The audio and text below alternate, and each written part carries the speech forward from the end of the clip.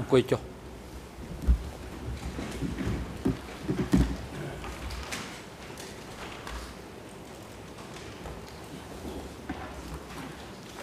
អង្គនឹងជំរះកាសបន្តកិច្ចដំណើរការនីតិវិធីសមការសមការនៅថ្ងៃនេះអង្គយើងជំរះនឹងធ្វើសមការស្ដាប់ក្តីថ្លែងរៀបរាប់អំពីទុកសោកវេទនានិងផលប៉ះពាល់របស់ដើមម្ដងរដ្ឋបពិនីចំនួន3រូប ហើយមុននឹងបន្តកិច្ចដំណើរការសមការពិភាក្សាដេញដោលស្ដាប់ក្តីថ្លែងរៀបរាប់អំពីទុកសោកវេទនានិងផលប៉ះពាល់ចំពោះខ្លួនរបស់ដើមម្ដងរដ្ឋបពិនីចំនួន3រូបអង្គជំរះសូមជម្រាបជូនភាគីទាំងអស់នៃរឿងក្តីនេះបានជ្រាបថានៅក្នុងកិច្ចដំណើរការសកម្មភាពថ្ងៃនេះនិងថ្ងៃបន្តបន្ទាប់លោកចក្រមយុវតារាដែលជាចក្រមជាតិអវត្តមានដែលគាត់មានបញ្ហាសុខភាព គាត់មិនអាចចូលរួមនៅក្នុងកិច្ចដំណើរការសកម្មភាពនេះបានបន្ទាប់ពីយើងខ្ញុំបានពិភាក្សាពិគ្រោះយោបល់ជាមួយនឹងបណ្ដាចក្រមពេញសិទ្ធនៃអង្គអង្គជំរះឡាដំបងយើងបានសម្រេចតែងតាំងលោកចក្រមភូមិនីដែលជាចក្រមបំរុងខាងភាគីជាតិជំនួសកន្លែងចក្រមយុវតារាដែលបានអវត្តមានរហូតដល់ពេលណាលោកចក្រមយុវតារាមានវត្តមាននិងអាចមានលទ្ធភាពបំពេញការងារនៅក្នុងការចូលរួមកិច្ចដំណើរការសមការរបស់អង្គរំជំរះសាលាត្បូងវិញបាន ការសម្រេចនេះដោយផ្អែកតាមបទបញ្ញត្តិនៃវិធាន79 9នៃវិធានផ្ទៃក្នុង របស់អង្គជនវិទ្យាវិសាមញ្ញក្នុងតុលាការកម្ពុជាបញ្ហាមួយទៀតអង្គជំរះក៏សូមជម្រាបជូនដំណឹងដល់ភាគីនិងសាធារណជនបានជឿផងដែរថាលោកស្រីចក្រម Claude Defen ដែលជាចក្រមបំរុងខាងភាគីអន្តរជាតិលោកស្រីអវត្តមានក្នុងកិច្ចដំណើរការសកម្មភាពថ្ងៃនេះនិងថ្ងៃបន្តបន្ទាប់ដោយលោកស្រីមានទុរៈចាំបាច់ផ្ទាល់ខ្លួន ហើយក៏សូមជម្រាបជូនដំណឹងផងដែរថាដោយមានបញ្ហាខុសពេលវេលាគ្នាអំពីអឺពេលវេលានៅកម្ពុជានិងពេលវេលានៅសហរដ្ឋអាមេរិកដែលអង្គជំរះមានបំណងនឹងមានកាលវិភាគស្ដាប់សក្ខីកម្មស័ក្តិសិទ្ធិតាមរយៈប្រព័ន្ធថតទស្សន៍នៅថ្ងៃស្អែកនិងថ្ងៃ ទី6ទី7ខែមិថុនាឆ្នាំ2013តាមរយៈប្រព័ន្ធសតទស្សន៍នោះហើយអង្គជំរះសូមជម្រាបជូនដំណឹងភាគីនិងសាធារណជនថាពេលវេលាដែលនឹងចាប់ផ្ដើមនៅពេលព្រឹកនៅថ្ងៃស្អែកគឺនឹងចាប់ផ្ដើមនៅម៉ោង8:30នាទីហើយសម្រាប់ថ្ងៃត្រង់គឺនៅម៉ោង11:30នាទី ហើយចំណែកអេរ៉ូស៊ីលគឺយើងប្រព្រឹត្តទៅពេលវេលាដូចធម្មតាពីព្រោះនៅពេលរសៀលយើងស្ដាប់សកម្មស័ក្តិសិទ្ធិនៅចំពោះមុខដែលចូលខ្លួននៅចំពោះមុខអង្គទីជំរះតឡដំបងលោកដៅអនសានឡើងបាទសូមបញ្ជាក់ផងដែរថាដោយឡែកនៅថ្ងៃរសៀលថ្ងៃសុក្រ ទី7ខែមិថុនាឆ្នាំ2013អង្គជំរះនឹងចាប់ផ្ដើមធ្វើសកម្មភាពនៅវេលាម៉ោង1រសៀលហើយនឹងសម្រាប់នៅម៉ោង3:30នាទីលោកដាវអាសានឡើងរាយការណ៍អំពីស្ថានភាពវត្តមានអវត្តមានភាគីនៅបុគ្គលដែលអង្គជំរះក៏អញ្ជើញចូលរួមនៅក្នុងកិច្ចដំណើរការសកម្មភាពថ្ងៃនេះបាទសូម គ្រប់ជម្រាបលោកប្រធានសម្រាប់សវនាការថ្ងៃនេះគ្រប់ភាគីទាំងអស់មានវត្តមានដោយឡែកជនជាប់ចោតនួនជាមានវត្តមាននៅបន្ទប់ឃុំខ្លួនខាងក្រោមសាលសវនាការនេះតាមសេចក្តីសម្រេចរបស់អង្គជំនុំជម្រះសាលាដំបងដោយមូលហេតុបញ្ហាសុខភាពដើមដល់រដ្ឋវេនីទាំង3រូបដែលត្រូវមកថ្លែងទុកសោកនៅថ្ងៃនេះគឺទី1ដើមដល់រដ្ឋវេនីដែលមានរហស្សនាម TCCP 4ទី2ដើមដល់រដ្ឋប្រវេនីដែលមានរហស្សនាម TCCP 145ទី3គឺដើមដល់រដ្ឋវេនីដែលមានរហស្សនាម TCCP 141អឺដើមដល់រដ្ឋវេនីទាំង3រូបនេះមានវត្តមានរួចជាស្រេចនៅបន្ទប់រងចាំត្រៀមខ្លួនការកោះហៅចូលក្នុងបន្ទប់សវនាការសូមអរគុណលោកប្រធានបាទអរគុណហើយមុននឹងអញ្ជើញដើមរដ្ឋវេនីចូលមកកាន់ ផ្លែប្រតិកម្មក្នុងសកម្មភាពនេះឲ្យជំរះសួរទៅមេធាវីនៅមុខកំណាងដើមដឹងរដ្ឋបវនីតើនីតិវិធីប្រព្រឹត្តទៅក្នុងការស្លែងរៀបរាប់អំពីទុកសោកវេទនានិងផលប៉ះពាល់របស់ដើមដឹងរដ្ឋបវនីចំនួន3រូបលោកមានសនុំពោយ៉ាងម៉េចទេ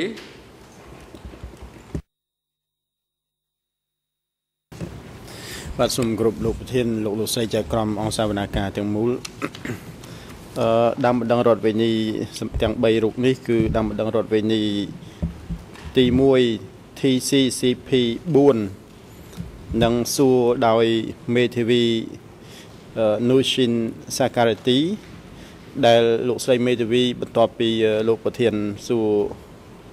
សំណួររួចហើយលោកស្រីនឹងផ្ដាក់នឹងធ្វើសេចក្តីផ្ដើមខ្លីនឹងបញ្ជាក់ពីឯកសារបន្ទាប់មកលោកស្រីនឹងសួរ ទៅដើមបណ្ដឹងរដ្ឋវិនីឲ្យដើមបណ្ដឹងរដ្ឋវិនីឆ្លើយចំណែកឯដើមបណ្ដឹងរដ្ឋវិនីទី2គឺ TCCP 145នឹងសួរដោយលោកមេធាវីសំសុគង្គចំពោះនីតិវិធីគឺដូចគឺដើមបណ្ដឹងរដ្ឋវិនីថ្លែងអំពីផ្ទះសនកម្មបន្តបន្ទាប់មក បើមានសំណួរលោកមេធាវីនឹងសួរបញ្ជាក់បន្ថែម ចំណែកឯដាំបដងរដ្ឋវិនីទី3នឹងសួរដោយលោកមេធាវីអេម៉ានូអែលយ៉ាកូមីចំណែកឯនីតិវិធី គឺមេធាវីផ្ដើមនឹងបញ្ជាក់អំពីឯកសារ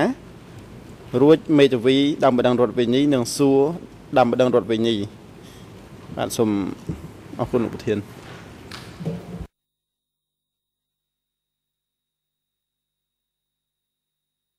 បាទសូមសូមបញ្ជាក់អឺបន្តិចអឺ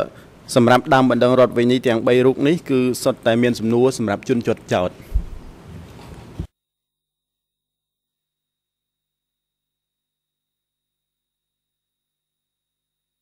បាទអរគុណលោកមន្ត្រីរដ្ឋបាលតុលាការអញ្ជើញដើមរដ្ឋមន្ត្រីទី CCP 4ចូលមកកាន់ កន្លែងផ្ដល់កិច្ចកម្មនៅក្នុងបន្ទប់សមាការ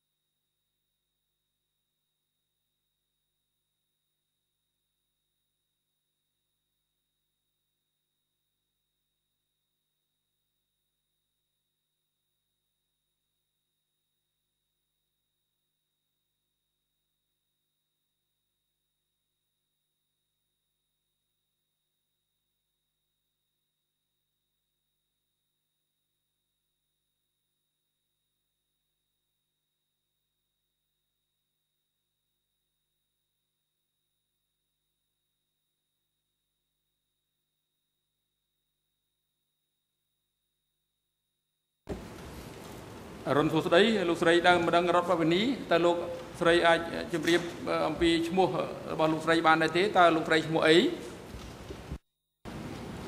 ចាស់ជម្រាបសួរលោកប្រធានអង្គប្រជុំនាងខ្ញុំឈ្មោះសុផានីបេ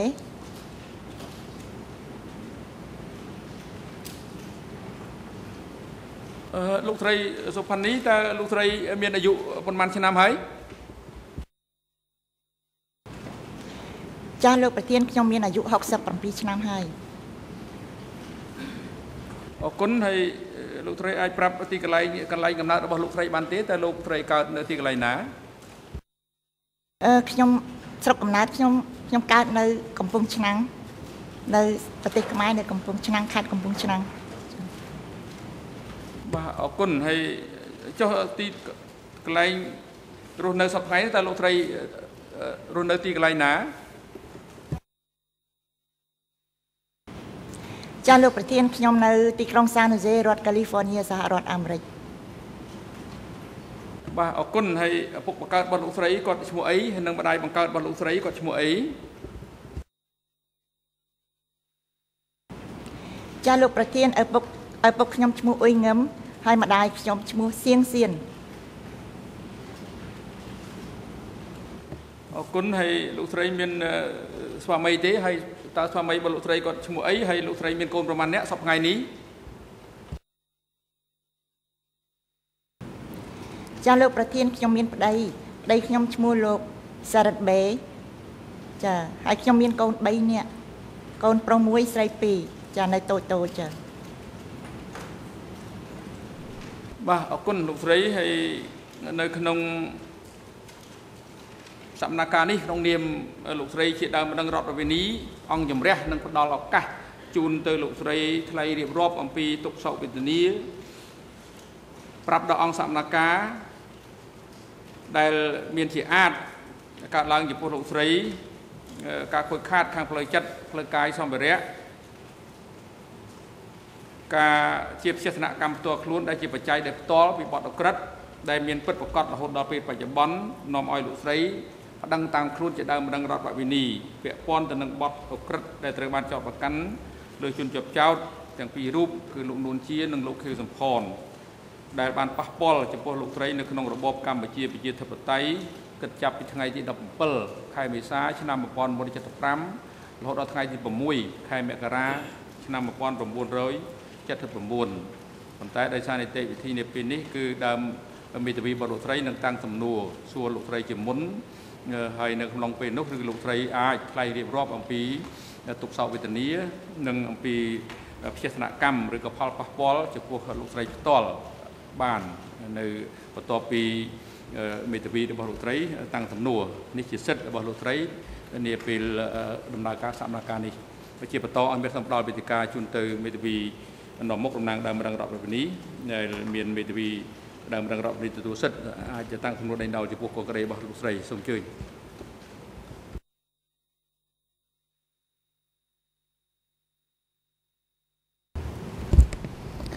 Thank you, Your Honor. If I may សូម make អ a រគុណ brief លោកប្រធាន introduction ខ្ញុំ before សូ I ម begin ធ្វើ my ការ questions.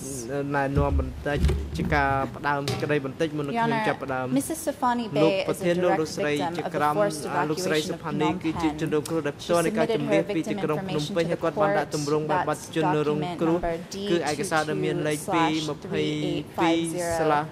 Her victim 50 information form was written in both Khmer ហើយ and ទ English, ម្រង់ and គាត់ that's មានជនរងគ្រោះ available សរ at សេរជា ERN ខ្មែរនិងអង់គ្លេសហើយមានលេខ005710 005210 through 75. រហូតដល់75 The French ភាសាប្រាំ ERN មានលេខ is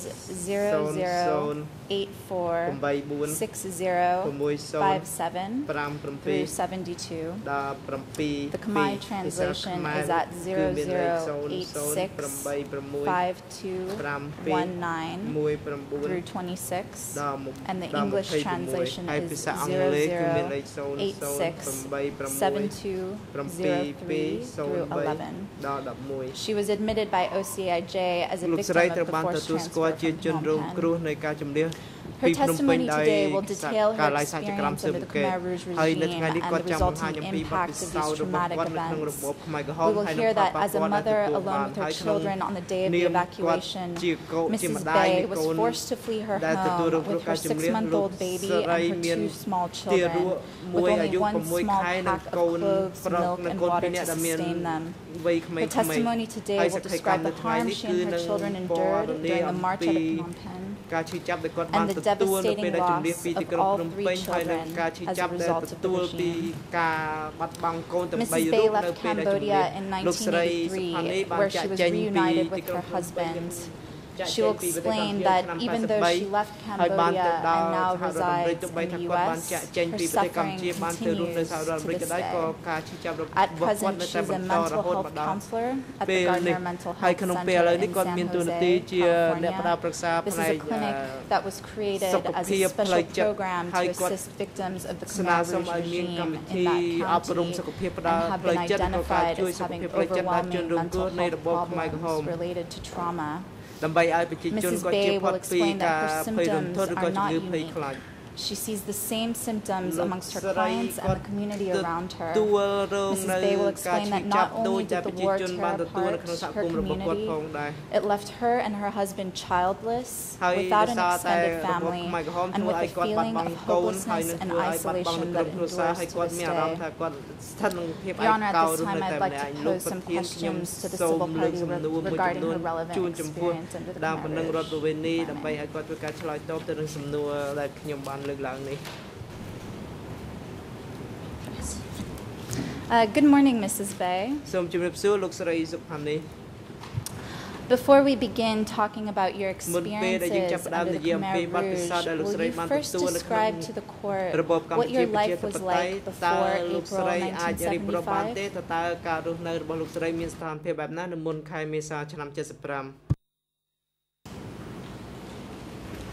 ខ្ញុំសូមជម្រាបសួរលោកស្រីមេធាវីខ្ញុំសូមជម្រាបសួរលោកប្រធានអង្គប្រជុំ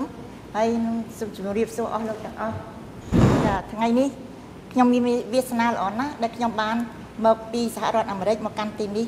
គឺមកជួបមានសេចក្តីរីករាយមកជួបលោកប្រធានអង្គប្រជុំ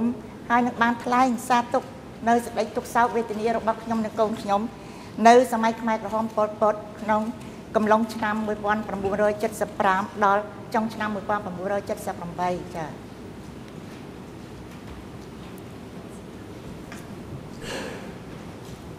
នៅមុនឆ្នាំនៅមុនឆ្នាំ75ខែ10អឺថ្ងៃ17មេសាឆ្នាំ75ខ្ញុំរស់នៅទីក្រុងភ្នំពេញខ្ញុំជាគ្រូបង្រៀនប្តីខ្ញុំជាវរៈសេនីយ៍តូផ្នែកតបជើងគោកនៃរបប សាធារណរដ្ឋលន់នល់ហើយគាត់ក៏ត្រូវជាប្អូន ប្រុសបង្កើតប្អូនពៅរបស់លោកជំទាវខេងភរិយាដើមនៃលោកសេនាប្រមុខលន់នល់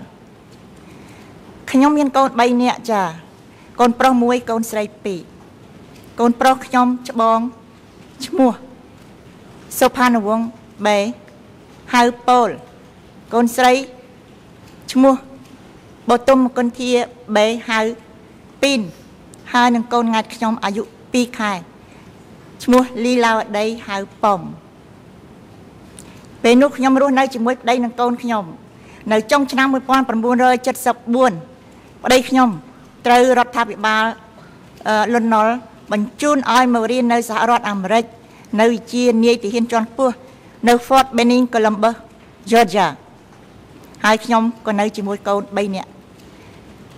នៅទីក្រុងភ្នំពេញ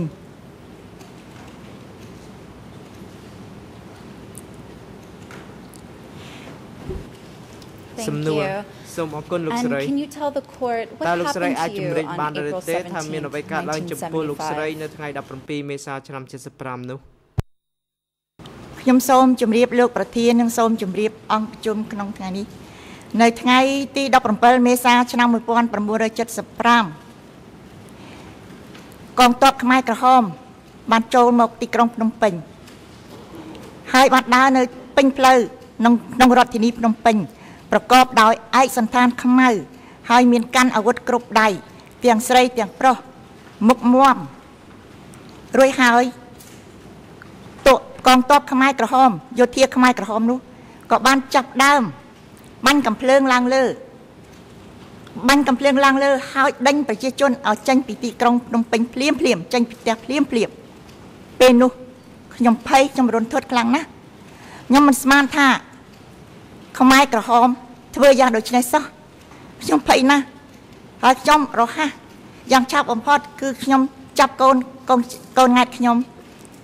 3ហើយខ្ញុំនិងកូន2នាក់ទូចទូចទៀតពេលនោះខ្ញុំគ្មានបានយកអ្វីឲ្យបានគ្រប់គ្រាន់ច្រើនទេ ពីព្រោះខ្ញុំមានតែ3នាក់និងកូនដូច្នេះខ្ញុំយកបានតែខោអាវមួយសម្រាប់ម្នាក់សម្រាប់កូន ហើយនឹងប្រដាប់ប្រដាសម្រាប់កូនខ្ចីមានទឹកដោះគោមានដបទឹកដោះគោអឺ ដបទឹកដាក់នៅក្នុងកាតាបខ្មៅមួយដែលខ្ញុំដែលខ្ញុំចានទៅយកយួរទៅសាលារៀនដាក់សម្ភារៈទៅសាលារៀនហើយពេលនោះខ្ញុំត្រូវតែចេញជាប្រញាប់ពីព្រោះយោធាខ្មែរក្រហមបានបណ្ដេញបន្ថើនបន្ថើនថាឲ្យចេញឲ្យយ៉ាងឆាប់ហើយថាសហរដ្ឋអាមេរិកនឹងមកទម្លាក់ក្របបែកក្នុងពេលឆាប់ឆាប់នេះត្រូវចេញឲ្យឆាប់ភ្លាមភ្លាមក្នុងរយៈ3ថ្ងៃខ្ញុំត្រូវតែចេញភ្លាមភ្លាម มันអាចមកអង្គទុកយូរបានទេ ពីព្រោះពីព្រោះអ្វីពីព្រោះបើសិនជាយោធាខ្មែរក្រហម ចូលមកដល់ផ្ទះខ្ញុំនោះខ្ញុំច្បាស់ជាស្លាប់ឬក៏យ៉ាងណាក៏មិនដឹងពីព្រោះនៅផ្ទះរបស់ខ្ញុំសិតតែរូបថត ដែលមានសិតតែសម្លៀកបំពាក់ឯកសន្តានទាហានរបស់ប្តីខ្ញុំហើយនឹងរូបថតក្រុមគ្រួសាររបស់ខ្ញុំគឺលោកសេនាប្រមុខលន់ណុលដូច្នេះខ្ញុំប្រញាប់ប្រញាល់ទៅភ្លាមរួចហើយខ្ញុំនាំកូនអបកូនទាំង3 កាន់ដៃហើយកតាបមួយខ្មៅមួយទៀតដាក់ដាក់សម្ភារៈខ្ញុំសំដៅទៅរកបងថ្លៃខ្ញុំដែលនៅទឹកល្អក់បងស្រីរបស់ប្តីខ្ញុំ ដែលមានប្តីគាត់ជាអនុរដ្ឋមន្ត្រីក្រសួងកំណែនទូទៅគឺឈ្មោះលោកវ៉ាន់សរិននៅទឹកល្អក់ខ្ញុំសម្ដៅនៅទៅទៅទីនោះទៅជួបជុំបងប្អូនហើយទៅជួបជុំម្ដាយក្មេងខ្ញុំនៅទីនោះប៉ុន្តែយោធាខ្មែរក្រហមបានកាត់ផ្លូវមិនឲ្យខ្ញុំចេញដូច្នេះខ្ញុំត្រូវចេញតាមចុងកំភ្លើងដៃចង្អុល ហើយនឹងកំភ្លើងដៃបាញ់ទៅលើថាឲ្យចេញចេញទៅខ្ញុំមិនដឹងថាតើឲ្យខ្ញុំចេញទៅទីណា ទៅកន្លែងណា អ្នកទាំងអស់គ្នាក៏មិនដឹងដែរថាឲ្យទៅទីណាខ្ញុំក៏ដើរទៅតាមគេតាមឯងជាមួយគេជាមួយឯងទៅតាមផ្លូវកាត់តាមផ្លូវតូចរួចហើយក៏ដើរទៅតាមផ្លូវធំមនុស្សម្នាច្រើនណាស់ចង្អៀតណែណាំតាន់តាប់ពិបាកនឹងធ្វើដំណើរខ្លាំងណាស់មួយជំហានមួយជំហាន គឺប្រើពេលវេលាយ៉ាងយូរ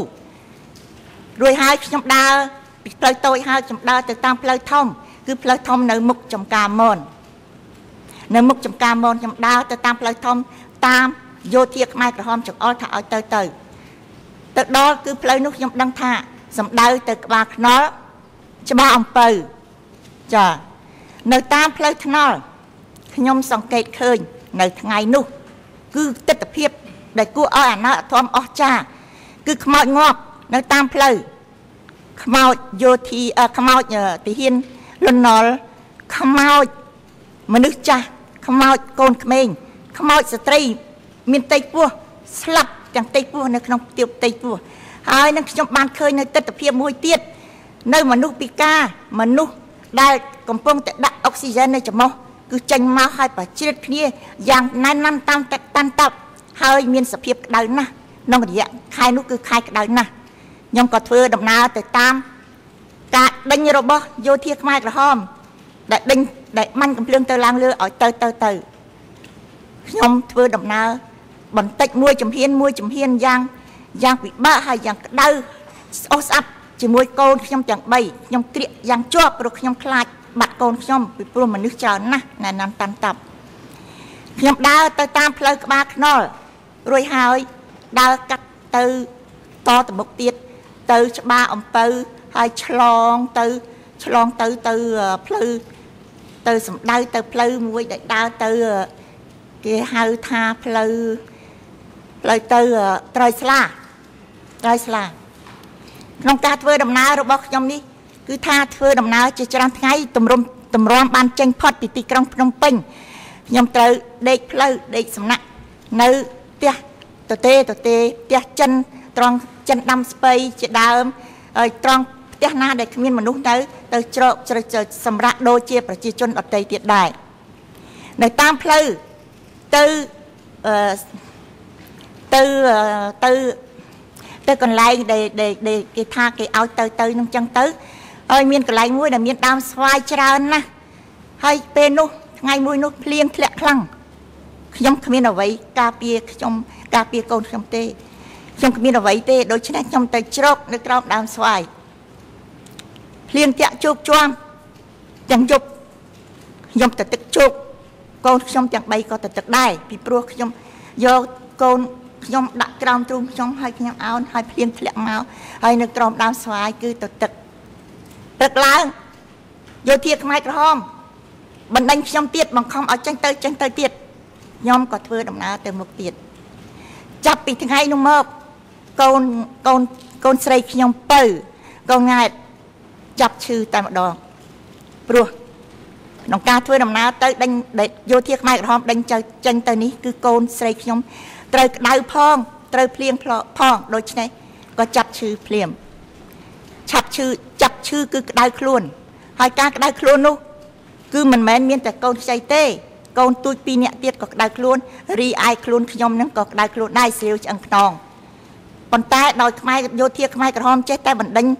ទៅទៅទៅខ្ញុំក៏ចិត្តទៅដើរទៅដើរទៅដោយមិនដឹងថាតើត្រូវឈប់នៅទីណាទេ រហូតមកដល់ត្រយស្លាកកូនខ្ញុំកាន់តែឈឺខ្លាំងកាន់តែក្តៅខ្លួនខ្លាំងហើយខ្ញុំមិនអាចតដំណើរទៅមុខទៀតបានទេខ្ញុំត្រូវសម្រេចចិត្តនៅភូមិត្រយស្លានេះព្រោះកូនខ្ញុំឈឺឈឺខ្លាំងពេលនោះខ្ញុំទៅជ្រកនៅក្រោមផ្ទះអ្នក ប្រជាជនគេហៅថាអ្នកមូលដ្ឋាន ប្រជាជនចាស់ខ្ញុំទៅច្រោកក្រោមផ្ទះគេជាមួយកូនទាំងទាំងទាំង3នាក់ប្រជាជនចាស់អ្នកមូលដ្ឋានឃើញខ្ញុំគាត់អាណិតអាណិតដោយសារឃើញខ្ញុំមានកូនខ្ចីរកេរកាគាត់បានឲ្យភពអាហារខ្ញុំឲ្យកូនខ្ញុំបរិភោគតែយោធាខ្មែរក្រហមប្រាប់អ្នកមូលដ្ឋានឲ្យឈប់ ឲ្យហូបចំណីកូនខ្ញុំឲ្យឈប់ឲ្យចំណីខ្ញុំហើយបណ្ដេញខ្ញុំកុំឲ្យនៅចិត្តអ្នកមូលដ្ឋានត្រូវចេញឲ្យឆ្ងាយឲ្យផុតពីគេព្រោះអ្នកឯងមានវណ្ណៈខុសគ្នា គឺបានន័យថាខ្ញុំជាប្រជាជនថ្មីប្រជាជន17មេសាហើយអ្នកភូមិគេជាប្រជុំប្រជាជនចាស់ជាអ្នកមូលដ្ឋានដូច្នេះយោធាខ្មែរក្រហមបណ្ដេញខ្ញុំឲ្យចេញទៅរកទីកន្លែងខ្លួនឯង ដោយចង្អុលប្រាប់ថាទៅឲ្យឆ្ងាយទៅឲ្យចុងភូមិទៅចុងចុងភូមិមានតែដីទទេ ហើយត្រូវរកអ្វីខ្លួនឯងធ្វើទៅដើម្បីនឹងជ្រកពេលនោះកូនខ្ចីខ្ញុំកំពុងតែឈឺខ្លាំងហើយកូនពីរនាក់ទៀតក៏ឈឺខ្លួនខ្ញុំនឹងក៏ឈឺដែរគ្រុនដែរតែខ្ញុំដោយការបង្ខំវិយោធាខ្មែរក្រហមខ្ញុំចូលទៅក្នុងព្រៃជាមួយកូនពីរនាក់3នាក់ទាំងកូនខ្ចីទៅអស់ ទៅអស់ទៅអស់ស្លឹកត្នោតដែលជ្រុះនៅដីកូនទូចពីរពីរនាក់ទៀតក៏ខំជួយអស់ស្លឹកត្នោតខំអស់យ៉ាងលំបាកពីព្រោះគ្នានៅទូចទូចណាស់បានស្លឹកត្នោតហើយខ្ញុំក៏ខ្ចីកំបិតគេជីកជីកមេឃមេឃឈើកាត់មេឃឈើទូចទូចយកមកទៅសម្ដៅទៅដែលគេហៅថាដីដែលគេឲ្យខ្ញុំទៅនោះរួចហើយខ្ញុំជីកដីនឹងដោតដោតឈើទៅហើយគ្រាន់តែយកស្លឹកត្នោតមកបាំងបាំងដើម្បីនឹងកម្ដៅថ្ងៃតែប៉ុណ្ណោះតែ ខ្ញុំមិនអាចនៅទីនោះបានទេព្រោះកូនស្រីខ្ញុំឈឺខ្លាំងណាស់ពេលនោះខ្ញុំនៅចិញ្ចៀនពេជ្រមួយ ដែលជាចិញ្ចៀនពេជ្រដែលជាចំណងដៃរបស់បងថ្លៃស្រីខ្ញុំលោកជំទាវលន់ណុលឲ្យខ្ញុំនៅពេលខ្ញុំរៀបការខ្ញុំយកចិញ្ចៀនពេជ្រនោះ ទៅដូរនឹងអ្នកស្រុកអ្នកភូមិនៅនោះដើម្បីនឹងសុំដូរយកថ្នាំគេ គឺអាស្ពីរីនអឺដូរយកអង្គគេមុនដំបូងយកអង្គគេគេឲ្យ25កំប៉ុងទឹកដោះគោក្នុង25កំប៉ុងនេះខ្ញុំត្រូវយកអង្គទៅដូរយកថ្នាំពេទ្យដូច្នេះខ្ញុំយកអាស្ពីរីនខ្ញុំដូរយកអាស្ពីរីន10គ្រាប់ហើយនឹងហ្គានីដិនដោះ10គ្រាប់ហ្គានីដង10គ្រាប់សម្រាប់ឲ្យកូនខ្ញុំកូនខ្ចីខ្ញុំកូនខ្ញុំហើយនឹងខ្ញុំញ៉ាំខ្លះតែឆ្នាំប៉ុណ្ណេះ มันអាចទប់ទល់នឹងជំងឺរបស់កូនខ្ញុំបានទេកូនពៅកូនស្រីទួយរបស់ខ្ញុំឈឺខ្លាំងណាស់គឺក្តៅខ្លួនហើយរាក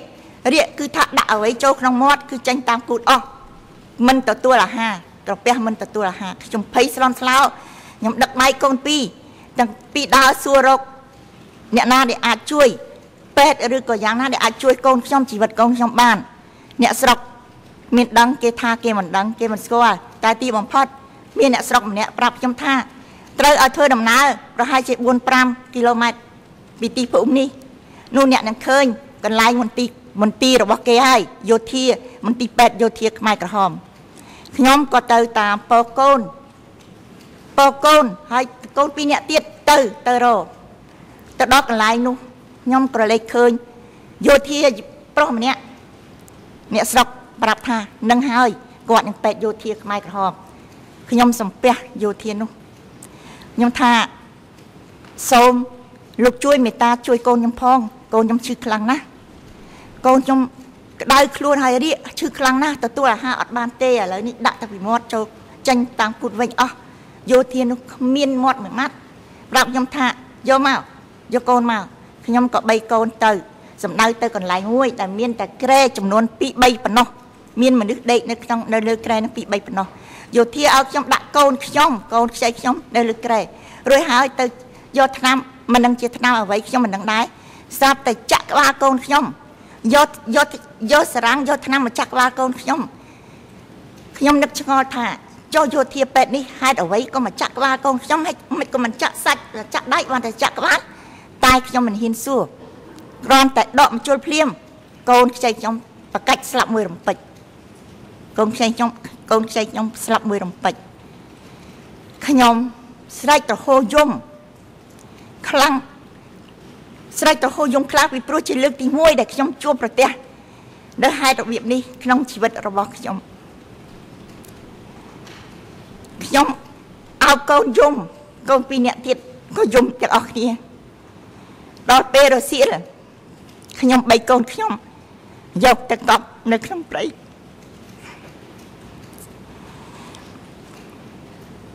ខ្ញុំបីខ្លួនខ្ញុំយកកូនខ្ញុំយកកូនខ្ញុំ ទៅព្រៃទៅកប់ខ្លួនឯងដោយគ្រាន់តែមានមនុស្សពីរនាក់ជួយជីករណ្ដៅប៉ុណ្ណោះហើយខ្ញុំដាក់កូនខ្ញុំទៅក្នុងរណ្ដៅរួចហើយខ្ញុំយកមែកឈើដោតពីរនៅមុខភ្នំខ្មៅកូនដើម្បីជាទីចំណាំដែលខ្ញុំមករងមើលឡើងវិញខ្ញុំធ្លាក់ខ្លួនមានទុកសោកវេទនាខ្លាំងខ្ញុំវង្វេង ខ្ញុំមិនដឹងថាខ្ញុំជ្រុះបាត់ខ្សែបាត់កវិលឬបាត់អីមិនដឹងខ្លួនតរសោះខ្ញុំត្រូវពួកយោធាខ្មែរក្រហម បង្ខំឲ្យធ្វើការជាជាទម្ងន់តាំងពីព្រឹកព្រលឹមរហូតដល់ប្រលប់គឺដាំពោតដាំពោតរីឯកូនខ្ញុំពីរអ្នកទូចទូចគឺនៅផ្ទះគ្មានអ្នកណាមើលគ្មានអាណាព្យាបាលគ្មានអ្នកណាមើលទេ គឺទុកនៅផ្ទះចោលចំណែកខ្ញុំម្ដាយត្រូវទៅធ្វើការនៅកន្លែងដាំពោតដល់ខ្ញុំត្រឡប់មកផ្ទះវិញខ្ញុំមិនឃើញកូនទាំងពីរនាក់សោះខ្ញុំភ័យស្លន់ស្លោខ្ញុំដើររកកូនខ្ញុំខ្លាចបាត់កូនពីរនាក់ទៀតមួយសន្ទុះកូនខ្ញុំទាំងពីរក៏ដើរមករកខ្ញុំវិញដោយមានមែកឈើនៅដៃមួយមួយម្នាក់ហើយកូនស្រីពីនដែលបានសម្ដីជាងគេរៃរាប់ប្រាប់ខ្ញុំថា ម៉ែកូនទៅជីកជីកជីកយកឈើជីករណ្ដៅជីកជីកមើលប៉ុំតែកូនអត់ឃើញប៉ុំទេ កូនខ្ញុំទាំងពីរធ្វើយ៉ាងនេះរាល់ថ្ងៃពេលខ្ញុំទៅធ្វើការគឺកូនរត់ទៅក្នុងព្រៃទៅមើលប្អូនរបស់ភ្នោប្អូនរបស់វាហើយវាប្រាប់រៃរាប់ប្រាប់សពគ្រប់ដល់ខ្ញុំរបៀបនេះធ្វើឲ្យខ្ញុំចង់ឈួតខ្ញុំត្រូវសម្រេចចិត្តចេញពីទីហ្នឹងលែងនៅទីហ្នឹងទៀតហើយព្រោះខ្លាចកូនពីរអ្នកខ្ញុំបាត់ទៀត ខ្ញុំសម្រេចចិត្តចិត្តចេញចេញពីទីនេះចំនួន2ដងខ្ញុំមិនបានសម្រេចពីយោធាខ្មែរក្រហមចាប់បាន ហើយសួរខ្ញុំមកពីណា ហើយប្រាប់ថាត្រូវទៅកន្លែងដើមវិញបើមិនដូច្នេះទេខ្ញុំនឹងសម្លាប់ខ្ញុំនឹងសម្លាប់អ្នកឯងដូច្នេះលើកទី1លើកទី2មិនបានសម្រេចលើកទី3គឺបានសម្រេចខ្ញុំមកបានសម្រេចខ្ញុំឆ្លងទុកមកបានសម្រេចរួចហើយខ្ញុំមកជាមួយចិនចិនកាត់ខ្មែរខ្លះដែលគេប្រាប់ថា យោធាខ្មែរក្រហមយកគេទៅដាំបន្លែនៅជិតភ្នំពេញពេលនោះខ្ញុំឡើងឡានមកជាមួយចិនចិនចិនចិនសួរថាអ្នកឯងទៅធ្វើអ្វីបើមិនមែនចិនទេខ្ញុំថាខ្ញុំទៅខ្ញុំទៅខ្ញុំទៅរកបងប្អូនហើយក៏ជិះក្នុងឡានទាំងអស់គ្នាមកដល់ចិត្តភ្នំពេញដល់កន្លែងដាំស្ពៃចិនដាំស្ពៃយោធាខ្មែរក្រហមមិនឲ្យយើងចុះទេមិនយើងមិនចុះមិនឲ្យយើងចុះទេខ្ញុំឆ្ងល់ អ្នកទាំងអស់គ្នាឆ្ងល់ថាចុះហេតុម្ដេចបានជាមិនឲ្យចុះមកដល់កន្លែងដាំស្ពៃហើយមិនឲ្យចុះទុយទៅវិញយោធាខ្មែរក្រហមគេដឹកឡានពួកខ្ញុំយកទៅវត្តទួលស្លែងទួលស្លែងចិត្តកំពង់កន្ទួតចិត្តកំពង់កន្ទួត ទីនោះគឺជាកន្លែងយោធា ដែលគេហៅថាកងវរៈសេនាតូចលេខ407 ដែលមានសុទ្ធតែយោធាខ្មៅខ្មែរក្រហមប្រកបដោយសម្លៀកបំពាក់ខ្មៅស្ពាយអាវុធមកទៅស្វាគមន៍ទទួលពួកយើងចុះពីឡានរួចហើយគេនាំយើងទៅដាក់នៅក្នុងផ្ទះមួយទំនេរយ៉ាងចង្អៀតយ៉ាងច្រើនគ្នាបំផុតចង្អៀតបំផុត គឺពេលសម្រានទៅដូចស្និតជែកជែកទល់ដេកទល់ជើងគ្នាចង្អៀតណាស់នៅទីនោះយោធាខ្មែរក្រហម បានបង្ខំខ្ញុំ និងអ្នកអ្នកដតីទៀតដែលមកជាមួយនឹងឲ្យទៅកាប់ព្រៃគេចែកកំបិតវែងវែងវែងវែងយ៉ាងនេះឲ្យទៅកាប់ព្រៃព្រៃឈើធំធំកាប់ព្រៃដើម្បីយកដីធ្វើស្រែខ្ញុំធ្វើយ៉ាងវេទនាបំផុតសត្វខំសត្វតិចក៏នៅតែធ្វើដោយគេបង្ខំកាប់ឈើធំធំយើងធ្វើនៅទីនោះរហូតដល់បានដីហើយធ្វើជាស្រែ ពេលធ្វើស្រែយោធាខ្មែរក្រហម បង្ខំឲ្យយើងធ្វើការដូចជាសត្វគេមិនប្រើគោឬក្របីទេគេមិនប្រើសត្វគោទេ តែគេប្រើមនុស្សធ្វើធ្វើចំនួនសត្វខ្លះដីខ្លះដីភ្ជួរដីធ្វើស្រែគឺគេប្រើមនុស្សសត្វសាតអ្នកណាដែលដែលទៅដែលយឺតយ៉ាវមិនចុះស្រែតាន់គឺយកកំភ្លើងបុកទ្រុងរហូតដល់មានធ្លាក់អួតធ្លាក់ឈាមក៏មានអឺបុកដើមទ្រុង ខ្ញុំនៅធ្វើការទីនោះធ្វើស្រែនៅទីនោះ នៅទីកន្លែងកន្លែងនោះហើយដែលកូនប្រុសខ្ញុំ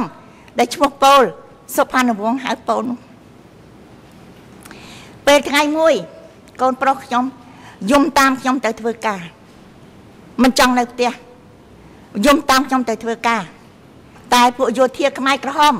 មិនឲ្យកូនខ្ញុំទៅតាមខ្ញុំទេមិនមិនឲ្យកូនទៅតាមម្ដាយទៅទេវាយោធាខ្មែរក្រហមពីរនាក់ មកខាត់កូនខ្ញុំហើយយកកំភ្លើងកំភ្លើងវែងយកចំកំភ្លើងដាក់មាត់កូនខ្ញុំកូនខ្ញុំស្រែកយំស្រែកយំយ៉ាងខ្លាំងហើយអត់ទឹកភ្នែកទេអត់មានទឹកភ្នែកគឺស្រែកយកស្រែកយកពេលនោះយោធាខ្មែរក្រហម បានប្រាប់ខ្ញុំថាកូននេះឯងមិនមែនជាកូនខ្មែរទេ កូននេះឯងជាកូនអាមេរិកកាំងឬកូនបារាំងមើលវាយំអត់សក់ទឹកភ្នែកទេរួចហើយខ្ញុំសួរទៅយោធាខ្មែរក្រហមនោះវិញថាតើអ្នកឯងសម្លាប់កូនខ្ញុំឬ យោធាខ្មែរក្រហមឆ្លើយប្រាប់ខ្ញុំថាខ្ញុំមិនសម្លាប់ទេ តែខ្ញុំធ្វើឲ្យខ្លាចកុំឲ្យយំហើយកុំឲ្យទៅតាមអ្នកឯងអ្នកឯងត្រូវទៅធ្វើការយោធាពីរនាក់យកកំភ្លើងមកជុំនៅក្រៅខ្នងខ្ញុំថាទៅធ្វើការភ្លាមបើមិនទៅទេខ្ញុំនឹងសម្លាប់កូនអ្នកឯងសម្លាប់អ្នកឯងហើយដូច្នេះខ្ញុំប្រាប់ថាកុំសម្លាប់កូនខ្ញុំបើចង់សម្លាប់កូនខ្ញុំសម្លាប់ខ្ញុំមករួចហើយខ្ញុំក៏ដើរទៅយោធាខ្មែរក្រហមដោះដោះកម្មាដោះកម្មា យកមកមកចងដៃកូនខ្ញុំហើយកូនខ្ញុំស្រែកស្រែកអត់ទឹកភ្នែកចិត្តតែពីស្រែកយកស្រែកយកអត់ទឹកភ្នែករួចហើយបែកញើសជោគយោធាខ្មែរក្រហមដោះអាវខោកូនខ្ញុំចាញ់អស់ហើយលើកកូនខ្ញុំទៅដាក់នៅក្នុងទឹកនៅក្នុងក្លុកមួយដែលមានទឹកដែលមានទឹកនៅក្នុងនោះកូនខ្ញុំកូនប្រុសខ្ញុំនៅតែស្រែកអត់ឈប់ឈរនៅតែស្រែកយកស្រែកយកអត់ឈប់ឈរចំណែកកូនស្រីខ្ញុំមិនតាមខ្ញុំទេ គឺទៅតាមបងគេ ទៅឈរមើលទៅតាមបងជាមួយបង ខ្ញុំដើរបណ្ដើរបានបន្តិចខ្ញុំដើរបណ្ដើរខ្ញុំងាកក្រោយមើលពីព្រោះក្រែងយោធាខ្មែរក្រហមសម្លាប់កូនខ្ញុំឬយ៉ាងម៉េចខ្ញុំឃើញយោធាខ្មែរក្រហមពីរនាក់ជក់បារីនៅក្រោមដើមឈើពេលនោះកូនប្រុសខ្ញុំរត់ចេញពីក្នុងទឹកយ៉ាងលឿនជាមួយកូនស្រីមករកខ្ញុំយ៉ាងលឿនរត់យ៉ាងលឿនមកដល់ខ្ញុំមកដល់ខ្ញុំដួលព្រុសនៅក្បែរជើងខ្ញុំ កូនប្រុសអត់មាននិយាយអីໄວបានទេ ពីព្រោះវាស្រែកខ្លាំងអស់សម្លេងហើយ និយាយអត់បានទេ គឺដួលព្រុសនៅជើងខ្ញុំ តែកូនស្រីរៃរ៉ាប់ប្រាប់ខ្ញុំខ្ញុំស្រែកចំណង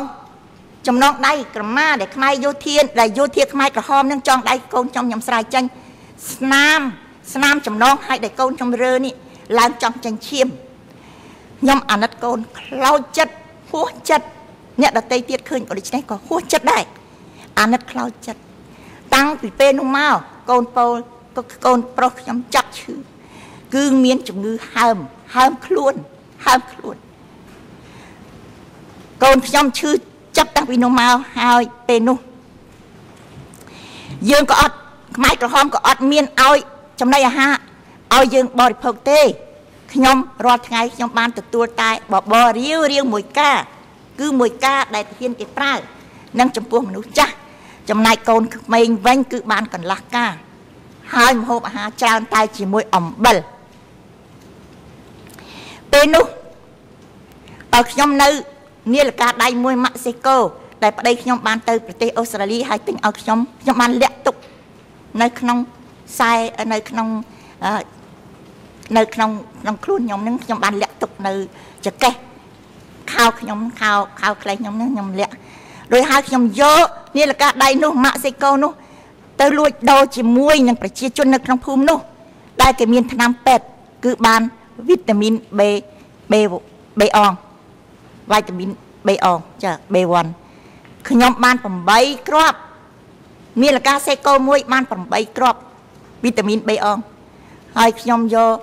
ថ្នាំនោះមកព្យាបាលឲ្យកូនខ្ញុំក៏ប៉ុន្តែកូនខ្ញុំឈឈឺហាមខ្លួនខ្លាំងណាស់តាំងពីវាស្រែកខ្លាំងតាំងពីគេធ្វើបាប នៅកន្លែង407ហ្នឹងមករហូត គឺកូនខ្ញុំឈឺខ្លាំងណាស់ខ្ញុំសូមនិយាយថាដល់ខ្ញុំនៅ407ហើយយោធាខ្មែរក្រហមបញ្ជូនខ្ញុំមកទៀតឲ្យនៅកន្លែងយោធាមួយទៀតដែលឈ្មោះ320ឈ្មោះលេខឈ្មោះលេខ320ហើយនៅទីកន្លែងនោះយោធាខ្មែរក្រហមបានបង្ខំខ្ញុំឲ្យធ្វើការជាតំងន់រែកដីជន់ឡើងឡើងឡើងណានហើយជ្រែកដី រែកដីដើម្បីគេថាគេធ្វើទំនប់ខ្ញុំនៅទីនោះបាន3ខែ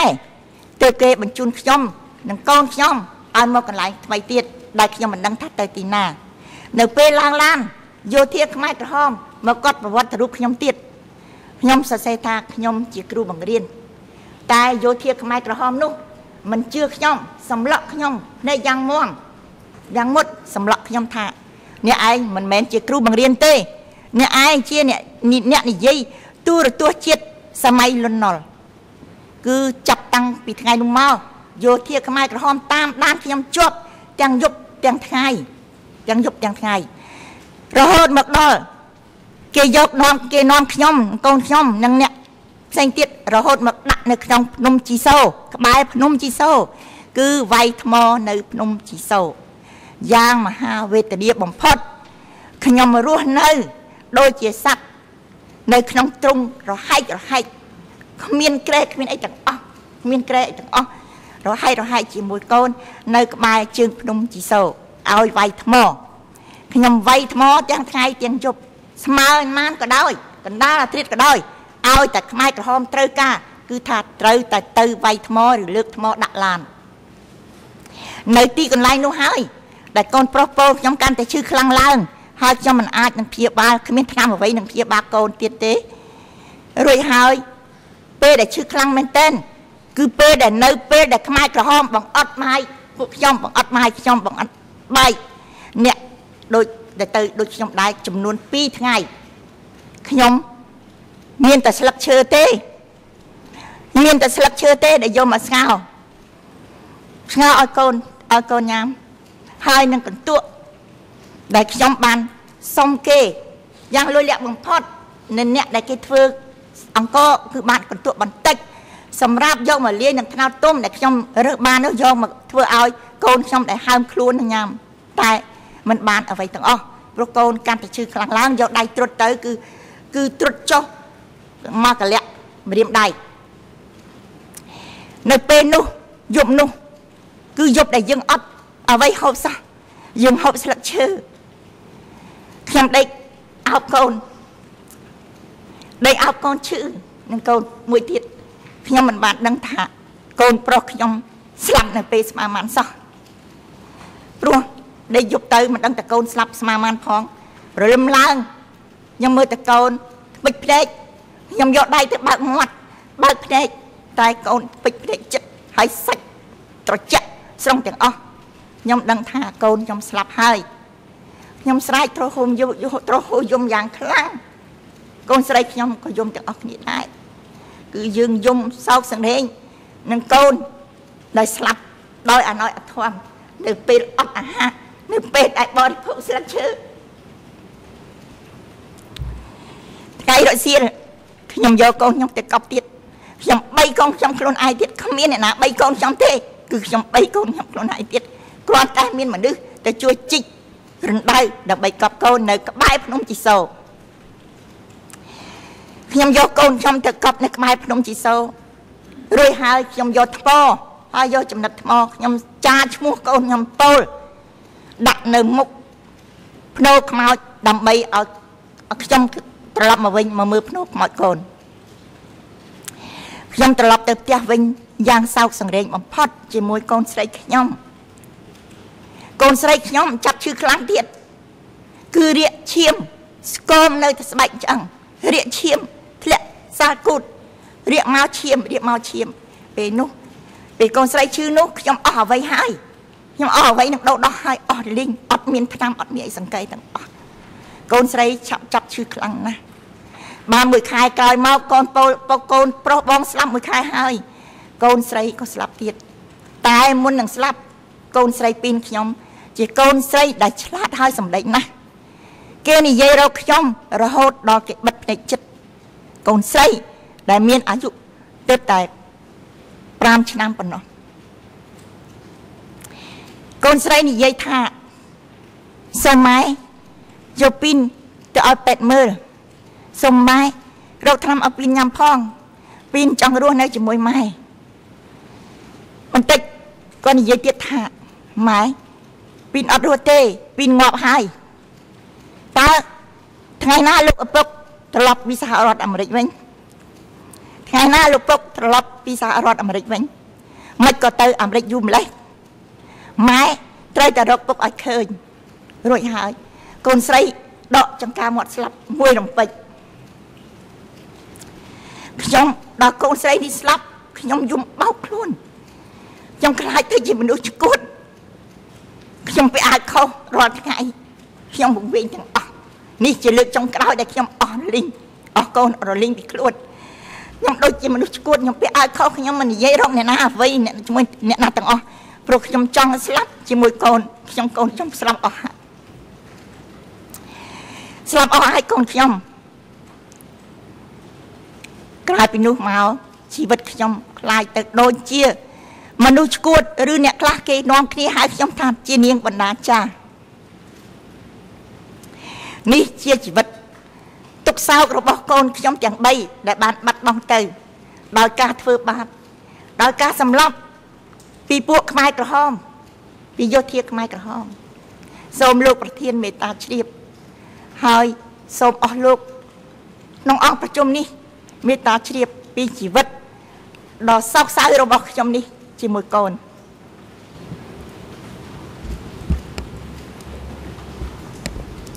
Thank you, Mrs. Bay. សូមអរគុណច្រើន Uh, Your លោក Honor, ស្រី at សុ this ផានី time, លោក I'd ប្រ like ធា to នលោក display a ស្រីចក្រម photograph នៅ on the ក្នុងពេលនេះ screen. ខ្ញុំចង់បង្ហា Uh, ញ this រូប is ថ in ត the ទៅលើ case file អេក្រ under ង់គឺនៅ document ក្នុងសំ number ណុំរឿងដែលមានលេខ E285.1.1. That's ERN គឺមានលេខ 00910047. 47 Mrs. Bay, do you លោកស្រី recognize សុ this ផានី photograph? តើលោកស្រីស្គាល់រូបថតនេះដែរឬទេ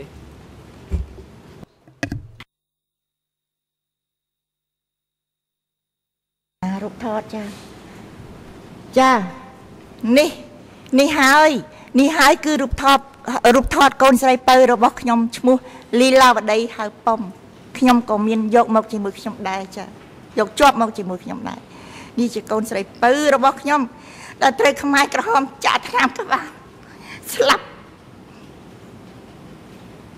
នៅមុនគេបងអស់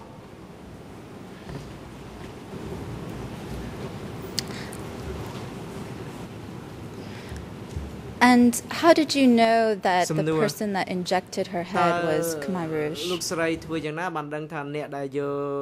ថ្នាំមកចាក់ក្បាលកូនលោកស្រីហ្នឹងគឺជាខ្មែរក្រហមតើលោកស្រីធ្វើយ៉ាងម៉េចដឹងថាគេហ្នឹងជាខ្មែរក្រហម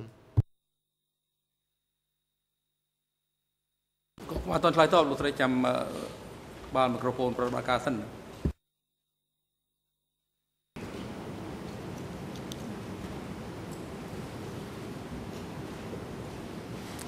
ពីព្រោះ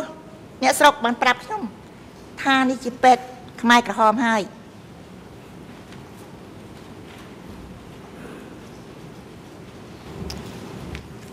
សំណួរ Thank you. And do you have សូម any អរគុ other ណលោកស្រី photographs of your តើ children លោក to ស្រី this day? មានរូបថតកូនលោកស្រីដតីទៀតទេនៅថ្ងៃនេះចាស់ខ្ញុំអត់មានទេខ្ញុំមានតែរូបថតមួយនេះហើយតែខ្ញុំបានផ្ញើមកប្តីខ្ញុំមុនខ្មែរក្រហមចូលទីក្រុងភ្នំពេញចំនួន1អាទិត្យខ្ញុំផ្ញើរូបថតនៅពេលដែលកូនស្រីខ្ញុំចេះកន្លាប់ ខ្ញុំផ្ញើមកប្តីខ្ញុំនៅសហរដ្ឋអាមេរិកដូច្នេះហើយបានជាសល់តែរូបថតមួយនេះរីឯរូបថតកូនពីរនាក់ទៀតទៀតគឺគ្មានទេ ពួកខ្មែរក្រហមកំតិចគ្មានសល់អ្វីឡើយ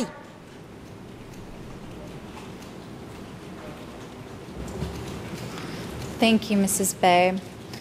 Now, សូម at អរ the គុណ end of the ច្រើន war, លោកស្រី how many សុផានី members of នៅ your family ពេល survived? ចុងបញ្ចប់នៅពេលដែល បញ្ចប់របបហ្នឹងតើគ្រួសារលោកស្រីមានគ្នាប្រមាណអ្នកដែលនៅរស់រានមានជីវិតនៅពេលដែលរបបខ្មែរក្រហមបានដួលរលំហើយគឺខ្ញុំគ្មានសេះសល់អ្វីទេខ្ញុំបានទៅរកឪពុកម្ដាយខ្ញុំ នៅទីរួមខេត្តកំពង់ឆ្នាំងតែគ្មានទាល់តែសោះឃើញតែដីទទេនឹងដើមខ្នោដែលម្ដាយខ្ញុំបានដាំប៉ុណ្ណោះអ្នកភូមិបានប្រាប់ថា ពួកខ្មែរក្រហមបានសម្លាប់ គ្រួសារខ្ញុំទាំងមូលហើយសម្លាប់ឪពុកខ្ញុំមុនគេបង្អស់ខ្ញុំខំរកគ្រួសារខាងប្តីទៀតតែគ្មានសល់អ្វីទាំងអស់គឺសម្លាប់ទាំងអស់មួយពូជទាំងខ្ញុំទាំងខាងខ្ញុំទាំងខាងប្តីខ្ញុំអស់មួយពូជខ្ញុំគ្មានសេះសល់អ្វីឡើយសំបីតែក្មួយបង្កើតមួយក៏អត់ដែរសប្តាហ៍នេះខ្ញុំនៅសល់តែប្តីខ្ញុំម្នាក់ដែលនៅសហរដ្ឋអាមេរិក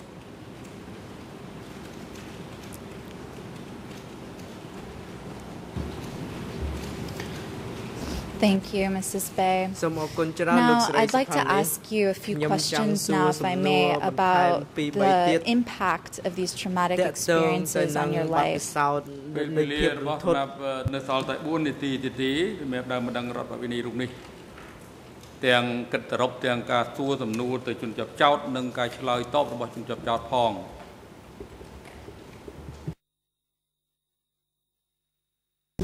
Thank you, Your Honor. សូមអរគុណលោកប្រធាន Um, can you describe to us តើ uh, លោកស្រីអាច how ព your ណ៌នាអំ experience ពី under the Khmer បទពិ Rouge សោធន៍លោក affected your ស្រី health? ថាតើ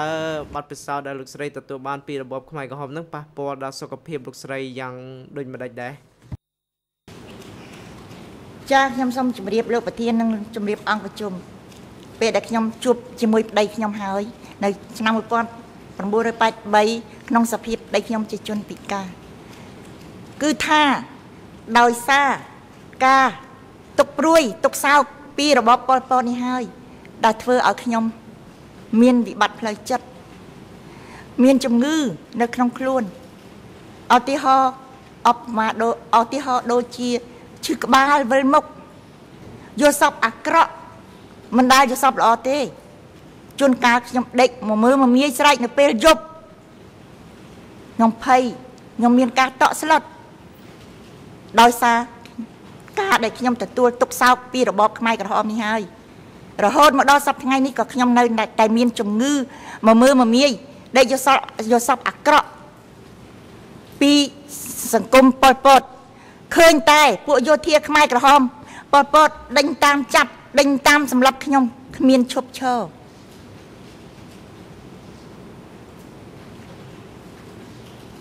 Your Honor, uh, since we have an Look, extra one and a half Patien, hours today, ខ្ញុំគិត would ថា you យើង mind មាន if I take a ពេលវេលា few more minutes មួយ to ម៉ោងកន្លះ question the បន្ថែ civil មទៀត party? ដូច្នេះតើខ្ញុំអាចចោទសំណួរបន្តិចទៅលើសាក់សីបន្ថែមទៀតបានដែរឬទេលោកប្រធានមិនអនុញ្ញាតទេព្រោះនៅពេលវេលាគាត់ត្រូវសួរសំណួរហើយនឹងឆ្លើយតបនឹងសំណួរទៀតព្រោះលោកស្រីប្រើប្រាស់ពេលវេលាអឺមិនមានប្រសិទ្ធភាពប្រមាណទេ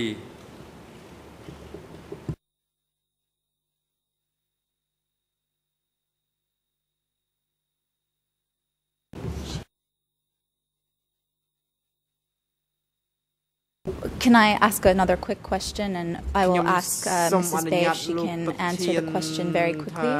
សូមសួរសំណួរខ្លីទូចមួយទេហើយសូមឲ្យលោកស្រីសុផានីក៏ឆ្លើយដោយខ្លីតើលោកប្រធានអនុញ្ញាតដែរឬទេ And Mrs. Bay, what other លោកស្រី symptoms? សុផានីអង្គជំរះនេះមិនទាន់អនុញ្ញាតផងមិញយើងអនុញ្ញាតតែមួយសំណួរចុងក្រោយ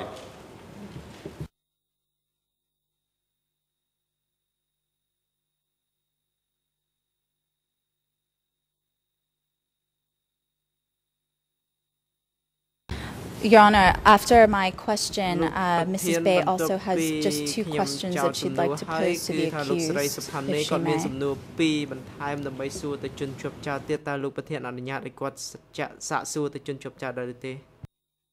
លោកស្រីតាំងសំណួរទៅបើលោកស្រីតវ៉ារបៀបនេះពេលវេលានឹងអស់ហើយយើងបានប្រៀបរៀបហើយមិញយើងលេខពេលវេលាសម្រាប់ដើមម្ដងរដ្ឋបវិនីនេះ តាំងសំណួរចំពោះជនជាប់ចោតនិងស្ដាប់ការឆ្លើយតបរបស់ជនជាប់ចោតទៅនឹងសំណួរដែលដើមម្ដងរដ្ឋបវិនីនឹងសួរនេះជាពេលដ៏សំខាន់យើងយល់ថាចាំបាច់ត្រូវតែផ្ដល់លទ្ធភាពនេះជូនគាត់អញ្ចឹងហើយបានជាយើងបានជម្រាបលោកស្រីថាគប្បីប្រើប្រាស់ពេលវេលាឲ្យប្រុសឲ្យមានប្រសិទ្ធភាពតាមពេលវេលាដែលអង្គជំរះបានកំណត់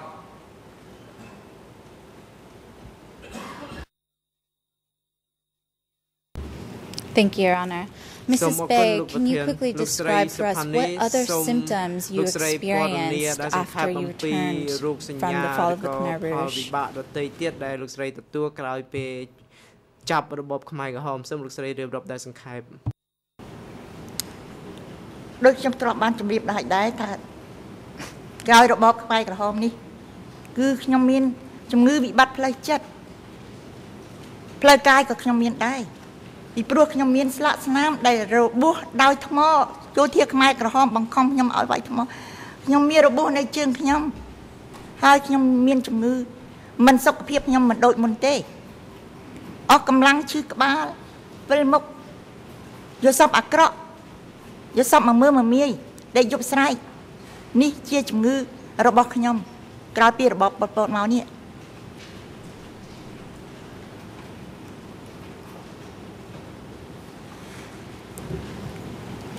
Your Honor, may I ask one further question of លោ the ក civil ប្រធាន party? ខ្ញុំសូមអនុញ្ញាតសួរសំណួរបន្ថែមមួយទៀតទៅដើមម្ដងរដ្ឋប្រវេនេះតើលោកប្រធានអនុញ្ញាតដែរទេមិនអនុញ្ញាតទេដើមរងរដ្ឋនេះមានសំណួរអ្វីសួរដល់ជនជាប់ចោតដែរទេបើមានសំណួរ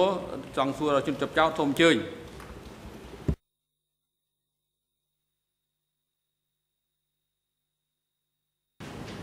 ចាស់លោកប្រធានខ្ញុំសូមអរគុណលោកប្រធានខ្ញុំមានសំណួរដែលចង់សួរទៅ លោកខាងចុងចោតចាខ្ញុំមានសំណួរ3លោកប្រធាន សំណួរសំណួរទី1របស់ខ្ញុំខ្ញុំចង់សួរទៅលោកថា លោកខៀវសំផនលោកនួនជា លោកជាមេដឹកនាំប្រទេស ដឹកនាំរបបកម្ពុជាប្រជាធិបតេយ្យរបបខ្មែរក្រហមតើលោកមានដឹងទេ ថាខ្មែរក្រហមសម្រាប់កូនក្មេងសំបីតែកូនក្មេងខ្ចីទូចតែមិនដឹងអ្វី ក៏សម្រាប់ដែរដូចជាកូនខ្ញុំនេះជាដើមសំណួរទី2តើលោកមានដឹងដែរឬទេថាខ្មែរក្រហមយោធាខ្មែរក្រហមដើរវាយដើរធ្វើបាបកូនក្មេងសួរចម្លើយកូនក្មេងបង្ខំឲ្យកូនក្មេងឆ្លើយឲ្យប្រាប់ពីរឿងឪពុកពីរឿងម្ដាយតើលោកមានដឹងទេ ហើយលោកមានបង្គាប់ឲ្យខ្មែរក្រហមធ្វើយ៉ាងដូចនេះទេ សំណួរទី3របស់ខ្ញុំបើលោកមិនបានដឹងមិនបានឮមិនបានបង្គាប់ឲ្យយោធាខ្មែរក្រហមធ្វើដូចនេះទេតើអ្នកណាធ្វើតើអ្នកណាបង្គាប់តើអ្នកណាធ្វើឲ្យធ្វើយ៉ាងនេះក្នុងនាមលោកជាអ្នកដឹកនាំប្រទេសខ្ញុំសូមលោកជម្រាបប្រាប់ខ្ញុំរឿងនេះបានដែរឬទេចាសូមអរគុណ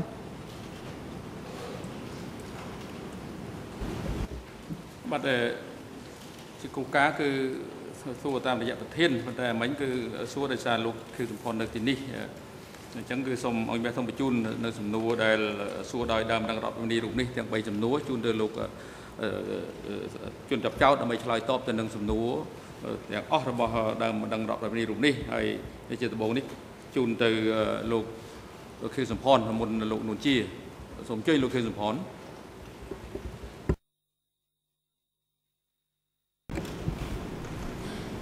សូមគោរពលោកប្រធានសូមគោរពអរលោកលោកស្រីចៅក្រមសូមគោរពអង្គសាវនាការទាំងមូលសូមគោរពបងប្អូនរួមជាទាំងអស់ដែលនៅទីនេះសូមជម្រាបសួរលោកស្រីបេសុផានី ខ្ញុំសូមឆ្លើយនឹងសំណួររបស់លោកស្រី ទី1ខ្ញុំសូមជម្រាបលោកស្រី ថាខ្ញុំមិនមែនជាមេដឹកនាំកម្ពុជា ប្រជាធិបតេយ្យទេពិតមែនតែខ្ញុំមានស្លាកជាប្រមុខរដ្ឋស្លាកធំណាស់ក៏ប៉ុន្តែខ្ញុំគ្មានអំណាចអីទេ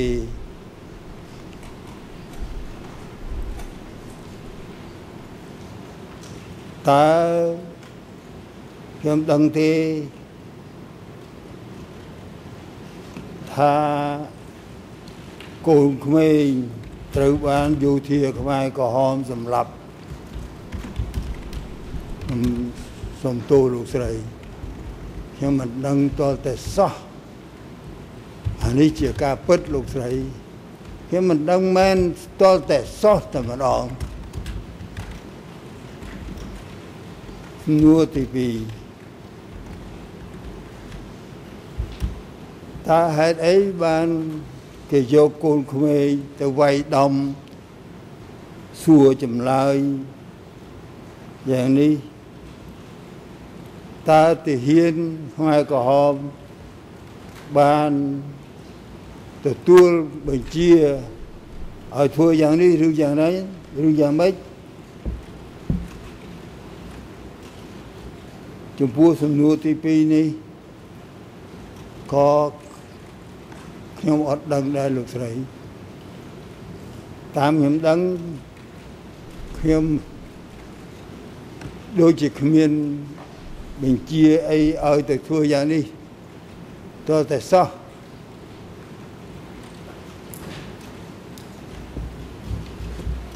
ឥឡូវសំណួរទី3ហើយ អឺខ្ញុំសន្ថែមនឹងសំណួរទី2ហើយខ្ញុំផ្ទាល់ខ្លួនក៏ខ្ញុំមិនបានបញ្ជាឲ្យយោធាទៅធ្វើយ៉ាងនេះតើតែសោះខ្ញុំគ្មានសិទ្ធិអំណាចលើកងទ័ពសូម្បីតែមួយក្រុមតូចក៏គ្មានដែរលោកស្រីដូច្នេះខ្ញុំមិនអាចមានសិទ្ធិអីទៅបញ្ជាយ៉ាងនេះទេហើយជាផ្ទាល់ខ្លួនខ្ញុំមិនមែនមនុស្ស សាហាវខូខើងួងខ្លៅរបៀបនេះទេនឹងខ្ញុំសូមថែមសំណួរទី2ទៅប៉ុណ្ណឹងសំណួរទី3បើខ្ញុំមិនដឹងតើអ្នកណាធ្វើ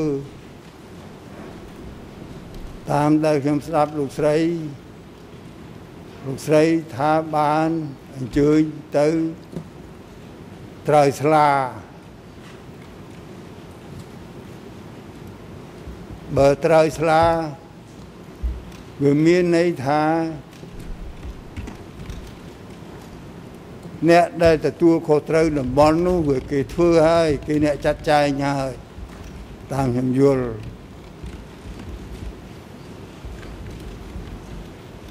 ដូច្នេះខ្ញុំប្រឆាំងដាច់ខាត់ នឹង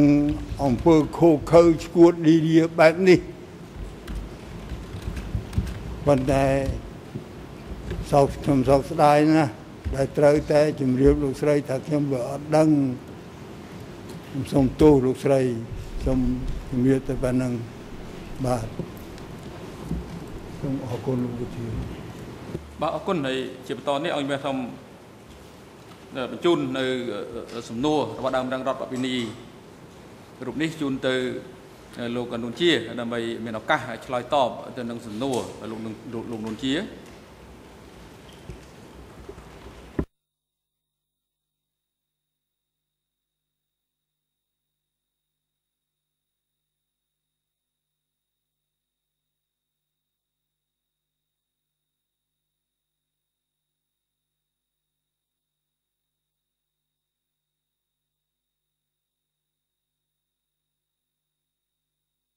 ស្ដាប់បានទេលោកនុនជាតើលោកឆ្លើយតបទៅនឹងសំណួរដែលសួរឡើងដោយដើមម្ដងរដ្ឋប្រវិនីសុផានីដែរឬទេ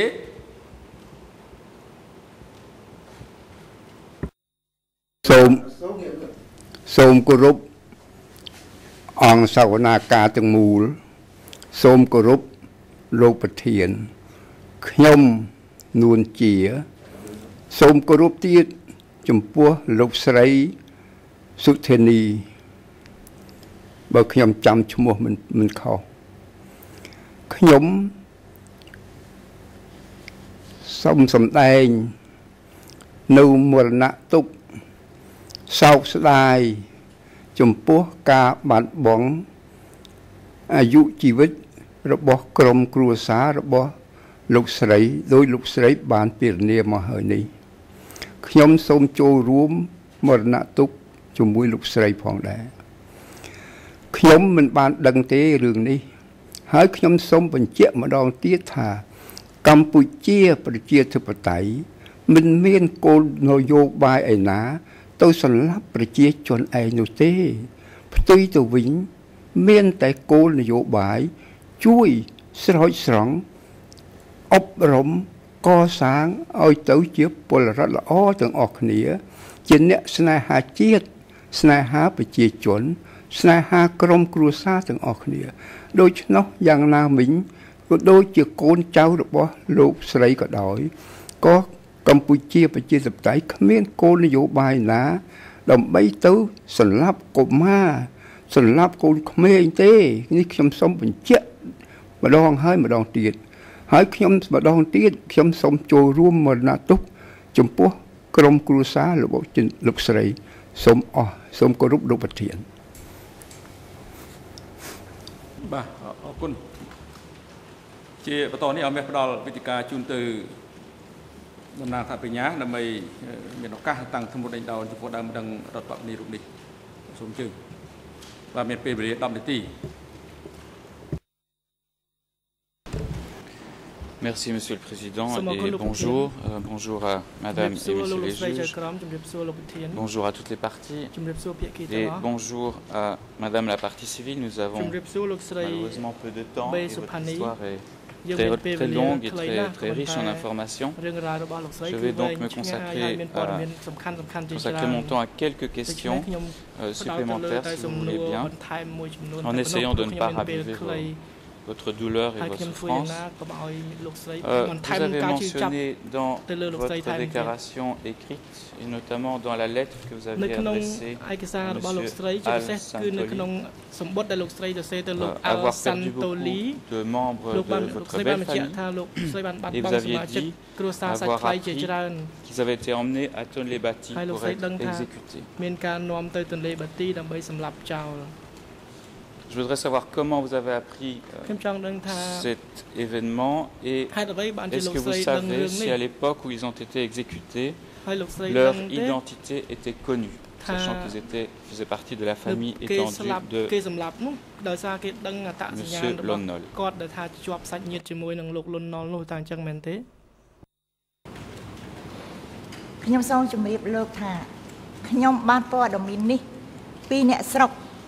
ខ្ញុំសូមជម្រាបលោកថាខ្ញុំបានព័ត៌មាននេះពីអ្នកស្រុកអ្នកស្រុកដែលមានស្រុកកំណើតម្ដាយក្មេកខ្ញុំ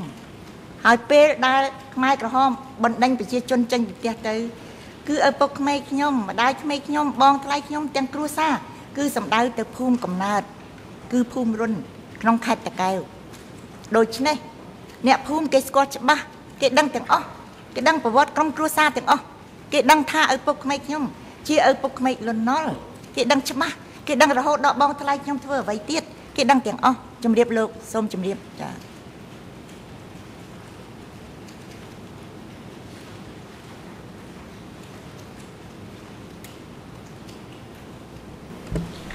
Est-ce que plusieurs membres de votre belle famille faisaient partie euh, de l'armée de l'ONOL ou euh, faisaient partie des cadres de l'administration de l'ONOL ខ្ញុំសូមជម្រាបលោក គ្រួសារខាងប្តីខ្ញុំ គឺជាអ្នករដ្ឋការទាំងអស់ភាកច្រើន ហើយធ្វើជាមន្ត្រីធំធំទៀតដូច្នេះហើយ បានជាផលវិបាកលាក់មកលើគ្រួសារលន់នល់នេះជាខ្លាំងក្លាបំផុត រហូតដល់គ្រួសារឪពុកម្ដាយខ្ញុំបង្កើតដែលនៅទីរួមខេត្តកំពង់ឆ្នាំងក៏ខ្មែរក្រហមសម្លាប់ទាំងអស់ដោយសារមានខ្សែរយៈតាក់ទងដែលជាដន្លង ឪពុកម្ដាយខ្ញុំជាដន្លងរបស់ឪពុកក្មេកលន់ណុលដូច្នេះខ្មែរក្រហមដឹងទាំងអស់ពោះទៅស្រុកកំណើតរបស់ខ្លួន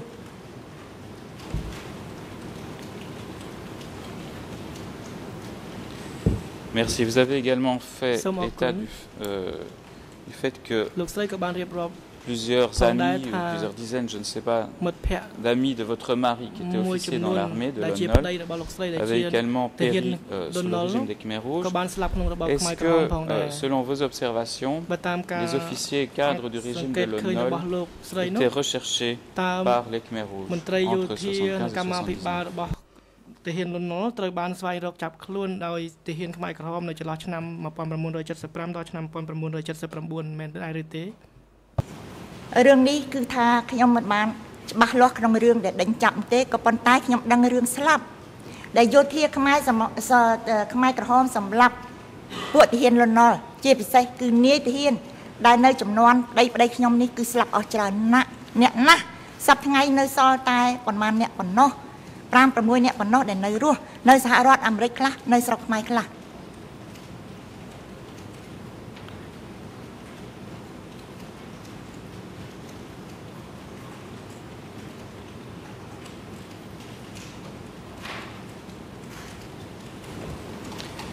voudrais revenir au traitement qui était réservé au 17 avril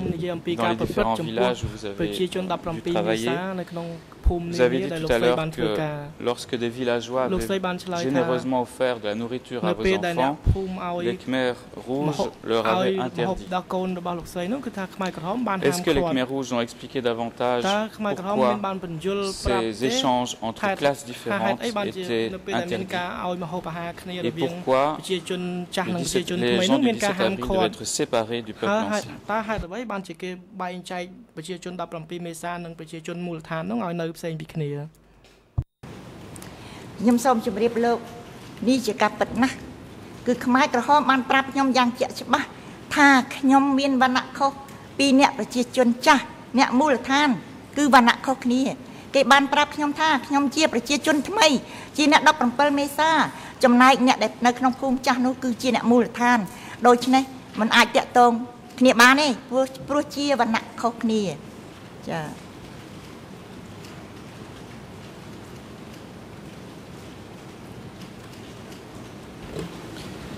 Est-ce que le peuple de base et le peuple du 17 avril étaient traités de la même façon Dans les différents villages où vous avez vécu, que ce soit en termes de nourriture, de charges de travail, de logement, de soins de santé ou éventuellement de disparition.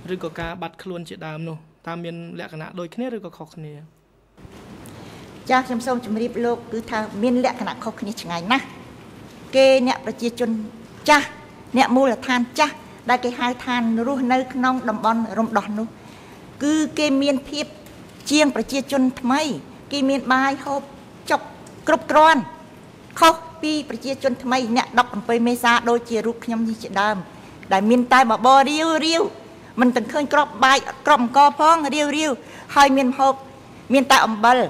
ជួនកាលក៏មានត្រីតិចតួចណាស់តែមានត្រីងៀតតិចតួចឬប្រហុកតិចតួចតែភាកច្រើនគឺអំបិលមិនតែប៉ុណ្ណោះគេធ្វើបាបគេបង្អត់បាយទៀត ដូចជាខ្ញុំបានជម្រាបមកហើយដែលកូនប្រុសខ្ញុំស្លាប់គឺក្នុងក្នុងពេលដែលគេអត់ឲ្យអាហារខ្ញុំឲ្យឲ្យបរិភោគឲ្យញ៉ាំឲ្យឲ្យហូបកូនខ្ញុំស្លាប់ខ្ញុំគ្មានអ្វី មានតែស្លឹកឈើនៅក្នុងឆ្នាំងហើយនេះកន្ទក់លោកជាស្រាប់ហើយតើអ្នកណាគេហូបកន្ទក់កន្ទក់នេះសម្រាប់តែសត្វជ្រូកទេ តែចំពោះមនុស្សគឺគ្មានទេប៉ុន្តែខ្ញុំយកកន្ទក់ហើយហូបស្លឹកឈើ នៅពេលដែលកូនខ្ញុំប្រុសខ្ញុំស្លាប់នេះខ្ញុំសូមជម្រាបលោក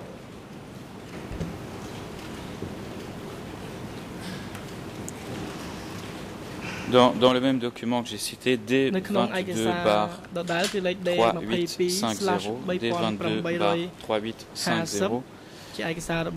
vous avez dit euh, ceci est la page en français 0086 07 41 008 07 41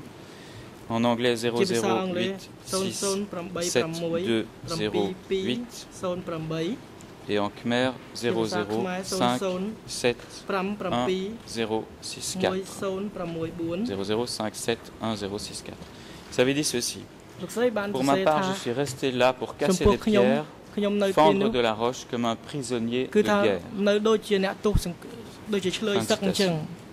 Les mots prisonniers de guerre étaient-ils utilisés par les Khmer rouges en ce qui vous concerne ou en ce qui concerne les 17 avril តើគេប្រើពាក្យថាឆ្លើយសឹកនេះតែចំពោះលោកស្រីទេឬក៏ប្រើជាទូទៅចំពោះប្រជាជន17មេសាទាំងអស់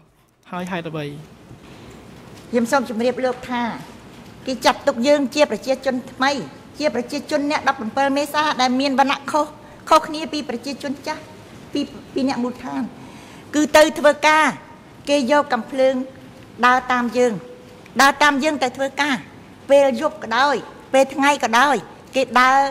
លបមើលនៅតាមខ្ទមខ្ទមលបមើលយើងនៅតាមខ្ទមគឺគេតាមដានយើងគ្រប់ជំហានគ្មានចន្លោះចំពោះអ្នកប្រជាជនថ្មីដូចជារូបខ្ញុំ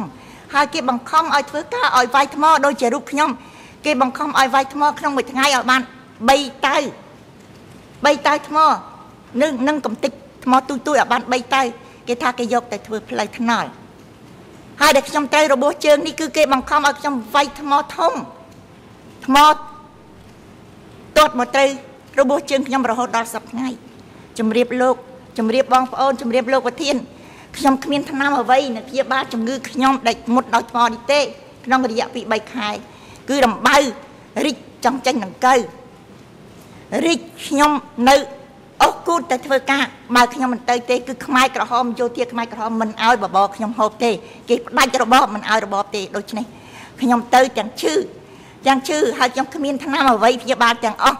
មានតែថ្នាំជក់ដែលយោធាខ្មែរក្រហមជក់បារីហើយបោះចោលនៅកន្ទុយបារីនោះ ពួកអ្នកស្រុកបានប្រាប់ខ្ញុំថាឲ្យយកថ្នាំនឹងយកមកបិទជាមួយនឹងស្ករត្នោតដែលខ្ញុំគេលួចលាក់ឲ្យខ្ញុំស្ករត្នោតយកមកបិទដំបៅខ្ញុំមានតែប៉ុណ្ណឹងទេជំរាបលោក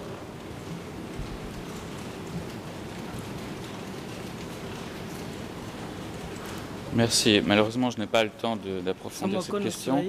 Il me reste deux questions à vous poser. Vous avez, euh, dans le même document, évoqué un incident d'une femme qui avait été sévèrement battue et punie par les Khmer Rouges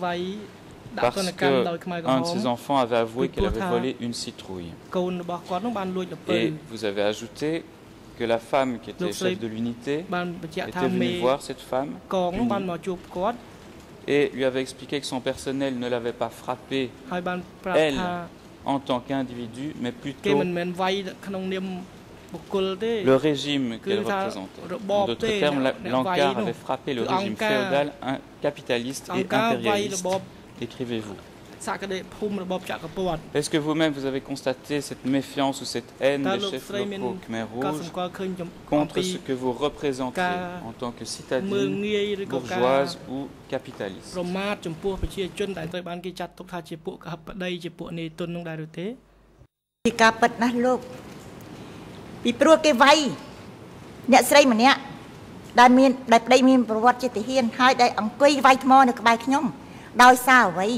ពីការពិតណាស់លោកពីព្រោះគេវាយអ្នកស្រីម្នាក់ដែលមានដែលប្តីមានប្រវត្តិជាទាហានហើយដែលអង្គុយវាយថ្មនៅក្បែរខ្ញុំដោយសារអ្វីដោយសារយោធាខ្មែរក្រហម ទៅវាយកូនក្មេងនៅតាមផ្ទះ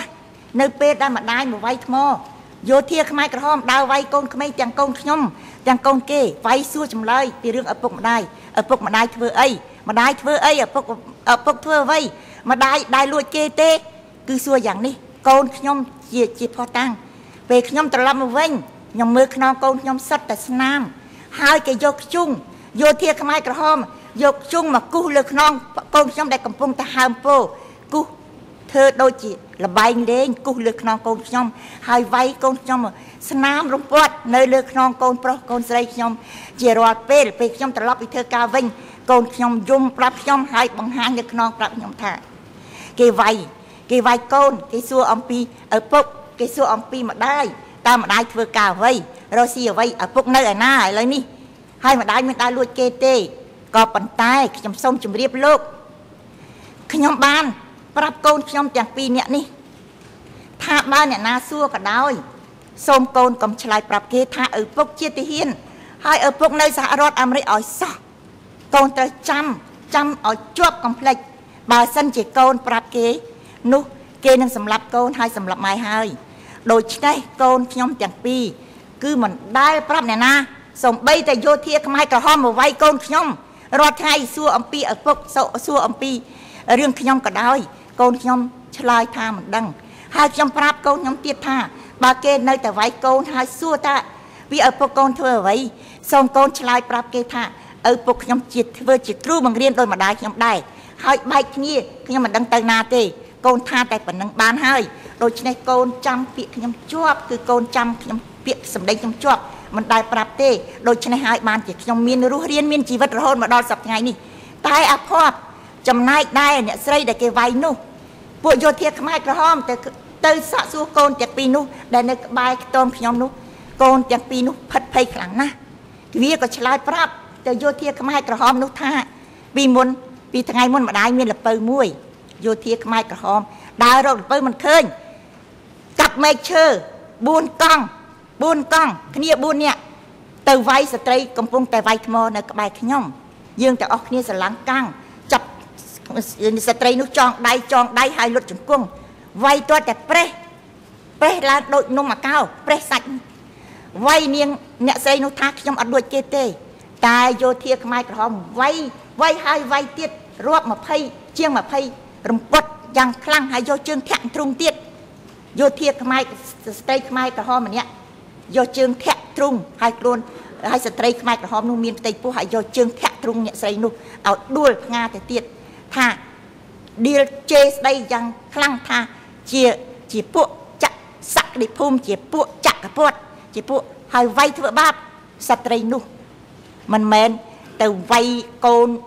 នៅចំពោះមុខខ្ញុំទេវាយម្ដាយនៅចំពោះមុខខ្ញុំនៅកន្លែងធ្វើថ្មមិនតែប៉ុណ្ណោះយោធាខ្មែរក្រហម បានប្រាប់ពួកខ្ញុំអ្នកវាយថ្មដូចគ្នាថា ទៅវាយទៅវាយទៅវាយខ្មាំងនេះខ្មាំងខ្មាំងទៅវាយនាំគ្នាទៅវាយខ្មាំងនេះហូចដើរលួចដើរលួចគេដើរលួចរបបរបស់គេយកមកហូបតែពួកខ្ញុំអ្នកវាយថ្មទាំងអស់អត់ទៅដាក់មុខចុះសុកចិត្តស្លាប់ថាបើយោធាខ្មែរក្រហមសម្លាប់ខ្ញុំសុកចិត្តស្លាប់ តែខ្ញុំមិនអាចលើកដៃទៅវាយស្ត្រីនោះបានទៀតទេព្រោះស្ត្រីនោះសន្លប់បាត់ស្មារតីទៅហើយនេះគឺជាទរណកម្មយ៉ាងខ្លាំងក្លាដែលយល់ធាតខ្មែរក្រហម បានធ្វើមកលើ ប្រជាជន អ្នក17មេសា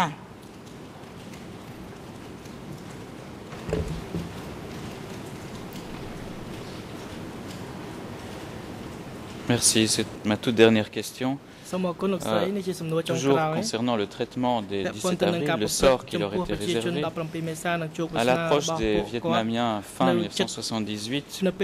qu'a demandé le chef adjoint de votre village de creuser à la population du 17 avril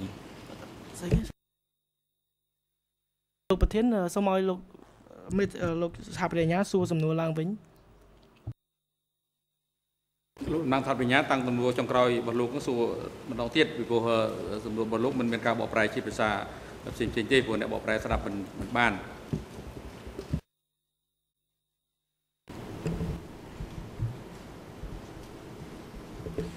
Merci, Monsieur le Président. Euh, J'en revenais donc toujours à la, au sort réservé au 17 avril et un événement assez significatif que vous avez, dont vous avez fait mention dans votre déclaration écrite. Euh, Pourriez-vous nous expliquer à l'approche de, des troupes vietnamiennes à la fin 1978 ce qu'a demandé le chef du village où vous travaillez à la population du 17 avril. Je crois que vous avez été demandé de creuser quelque chose. Est-ce que vous pouvez expliquer de quoi il s'agit បានណែនាំឲ្យលោកលោកស្រីនិងប្រជាជន17មេសានោះជីកអ្វីខ្ញុំមើលទៅដូចថាមានជីកអីមួយតែខ្ញុំមិនយល់ថាតើជីកអ្វីដែរចាជំរាបលោកចានៅពេលចុងក្រោយដែលថាមានពួកវៀតណាមចូលមកនេះ គឺយោធាខ្មែរក្រហមបង្ខំឲ្យយើង អ្នក17មេសា ពីព្រោះចុងក្រោយនេះគឺពួកយោធាខ្មែរក្រហមបានបញ្ជូនយើងមកដាក់ភូមិនៅភូមិមួយដែលជាភូមិចុងក្រោយបំផុតហើយគេដាក់ឈ្មោះថាភូមិអ្នក17មេសាយោធាខ្មែរក្រហមបានបង្ខំប្រជាជន17មេសាទាំងអស់ឲ្យជីករណ្ដៅរៀងរៀងខ្លួន ក្នុងមួយគ្រួសារជីករណ្ដៅបណ្ដោយ2ម៉ែត្រទៅតឹងរណាមានគ្រួសារច្រើន គឺជីករណ្ដៅជ្រៅហើយធំចំណែកខ្ញុំដែលខ្ញុំមានតែម្នាក់ឯងគត់ ខ្ញុំបានសួរទៅយោធាខ្មែរក្រហមថាហេតុអ្វីក៏បានឲ្យខ្ញុំជីករណ្ដៅយ៉ាងដូចនេះយោធាខ្មែរក្រហមបានឆ្លើយថាជីកដាក់ជីខ្ញុំថា មានជីឯណាដាក់បើខ្ញុំតែម្នាក់ឯងរួចហើយគេបញ្ជូនឲ្យទៅសមរភូមិមុខទៀតអ្នកឯងត្រូវតែជីកមួយគ្រួសារត្រូវមានមួយរណ្ដៅចំពោះរូបខ្ញុំ គឺគឺយោធាខ្មែរក្រហមបានឲ្យជីកបណ្ដោយ2ម៉ែត្រទៅទឹងកន្លះម៉ែត្រជម្រៅកន្លះម៉ែត្រ តែជីកមិនទាន់ចប់ទេជីកមិនបានចប់មិនទាន់ហើយទេក៏ព្រឹត្តិការណ៍វៀតណាមចូលមកចាខ្ញុំសូមជម្រាបលោកចា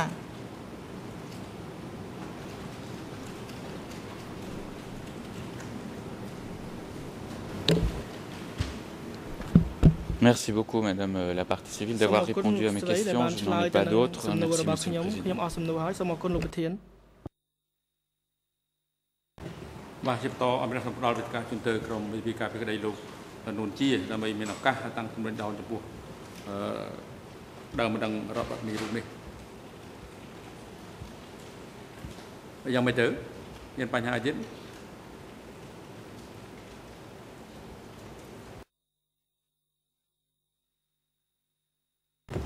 Your Honor, as Mrs. Bay has flown all the way from the United States and she has very valuable information on the impact of her suffering, we ask for just five more minutes for the civil parties to pose the questions on suffering to her.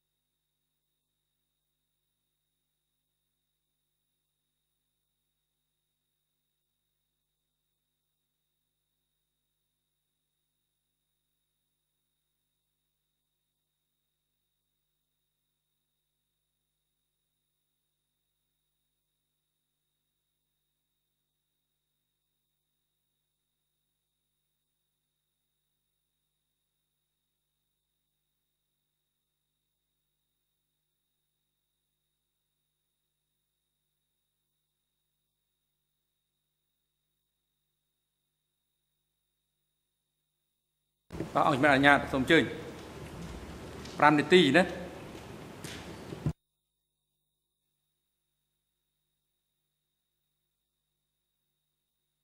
Thank you very much, Your Honor. Mrs. Bay, I just have three more questions for you.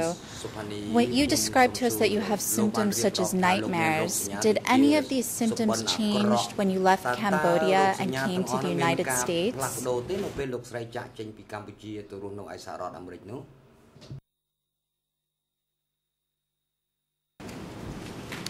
ខ្ញុំសូមជម្រាបលោកស្រីថាជំងឺនេះ គឺអន្ទល់តាមប្រាណខ្ញុំជានិច្ចជានិច្ចរហូតទោះបីខ្ញុំមកដល់សហរដ្ឋអាមេរិកនេះហើយក៏ដោយក៏ស្រមោលអតីតកាលនៅតែអន្ទល់តាមប្រាណខ្ញុំជានិច្ចញោមញីអារម្មណ៍ខ្ញុំព្រោះអ្វីព្រោះនៅសហរដ្ឋអាមេរិកដែលខ្ញុំមកដល់ខ្ញុំឃើញក្រឡេកឃើញកូនគេដែលបានទទួលការសិក្សាខ្ពង់ខ្ពស់ខ្ញុំនឹកទៅដល់កូនខ្ញុំ ស្រណោះកូនខ្ញុំតែគ្មានវាសនានឹងគេត្រូវពួកខ្មែរក្រហមធ្វើបាបសម្លាប់អស់រលីងរូបភាពកូនខ្ញុំទាំងប៉ុន្មានគឺបានថតជាប់នៅក្នុងអារម្មណ៍របស់ខ្ញុំខ្ញុំនៅចាំជានិច្ចមុខមាត់ពាក្យសម្ដីកូនខ្ញុំទាំងប៉ុន្មានគឺខ្ញុំនៅចាំទាំងអស់ពេលខ្ញុំនឹករឿងនឹងឡើងខ្ញុំឈឺចាប់ខ្ញុំណាយទ្រូង ខ្ញុំអួលក៏ទឹកភ្នែកខ្ញុំនៅតែស្រក់នៅតែស្រក់នៅឡើយពេលណាដែលខ្ញុំនឹកឃើញរឿងអស់ទាំងនេះនឹកឃើញពីរឿងកូនខ្ញុំ ដែលត្រូវស្លាប់យ៉ាងវេទនាបំផុតដោយសារស្នាដៃខ្មែរក្រហម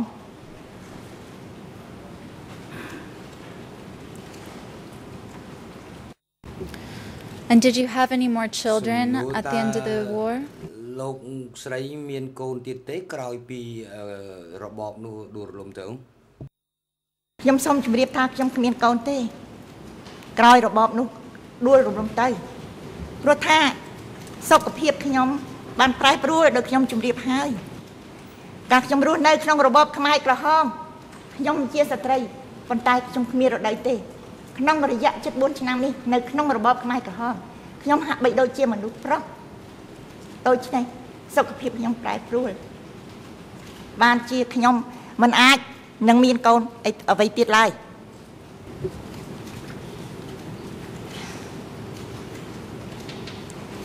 Now, Mrs. Bay, we're aware that you're a mental health counselor at the Gardner Health Center and that you work with Cambodian victims of the Khmer Rouge regime. Can you tell us what problems you see amongst these victims that are living in the US today?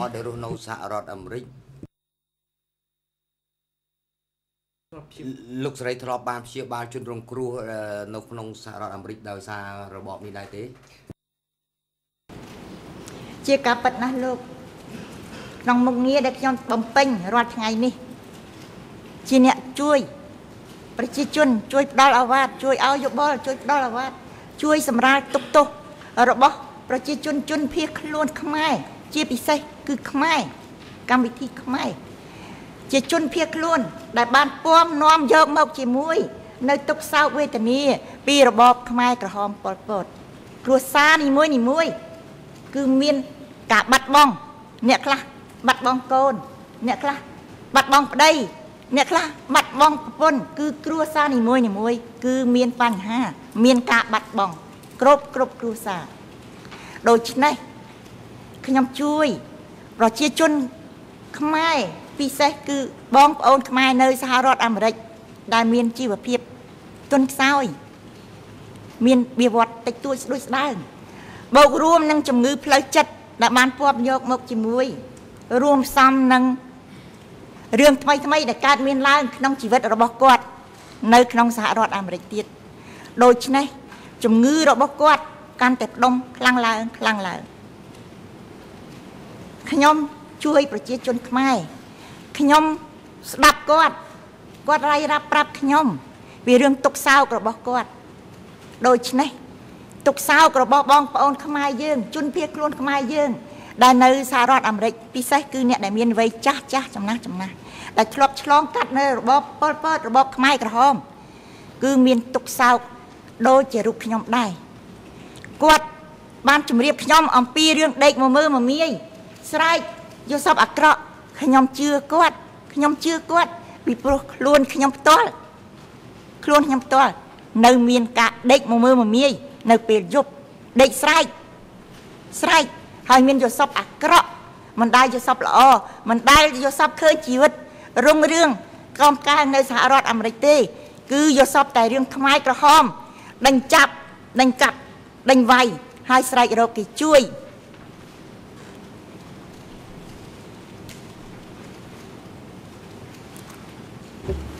And this suffering you described, how has it affected uh, their lives in the United States, their ability to adapt to life in the United States? គាត់យ៉ាងដូចម្ដេចដែរនៅសហរដ្ឋអាមេរិកហ្នឹងតើគាត់អាចនឹងសម្របសម្រួលការរស់នៅនឹងបានដោយរបៀបណាដែរ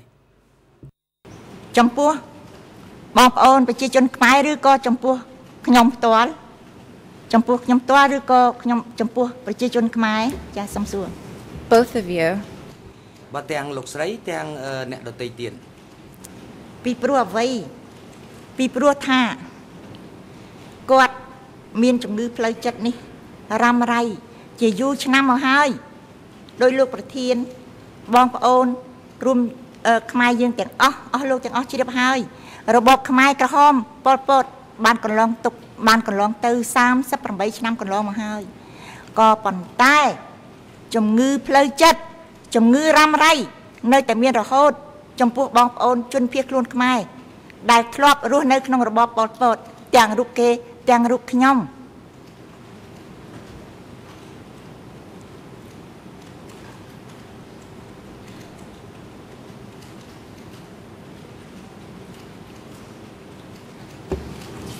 Thank you, Mrs. Bay. And as a victim living in the United States, can you tell us quickly why did you apply uh, to be a civil party in case two?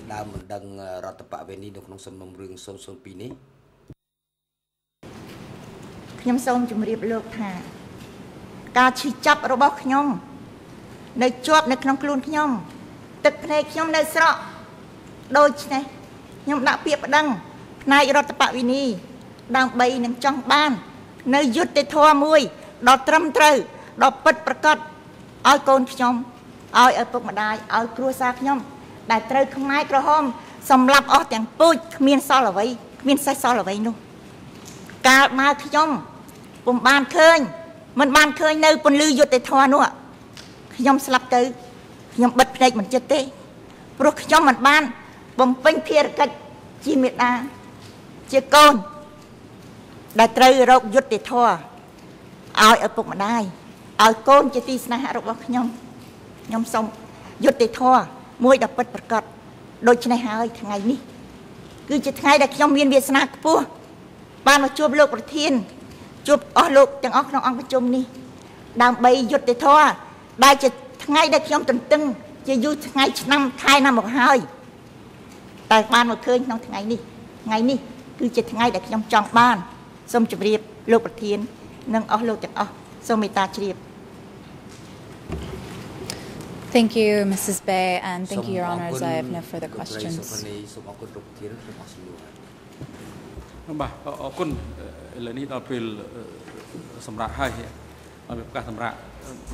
20នាទីចាប់ពីពេលនេះទៅរហូតដល់ម៉ោង 11សូមអញ្ជើញយកវិញដើម្បីបន្តកិច្ចដំណើរការសម្រាប់ការមន្ត្រីរដ្ឋបាលតុលាការសូមបំរុបដល់កន្លែងសម្រាប់នៅបន្ទប់រងចាំសម្រាប់ប្រសាស័យដល់ដើមដឹងរដ្ឋបព្វនីរូបនេះនៅក្នុងអំឡុងពេលសម្រាប់ហើយនឹងឲ្យអញ្ជើញគាត់ត្រឡប់មកកាន់កន្លែងផ្ដល់ហេកម្មនេះវិញនៅវេលាម៉ោង11សម្រាប់ចុះសូមក្រោកឈរ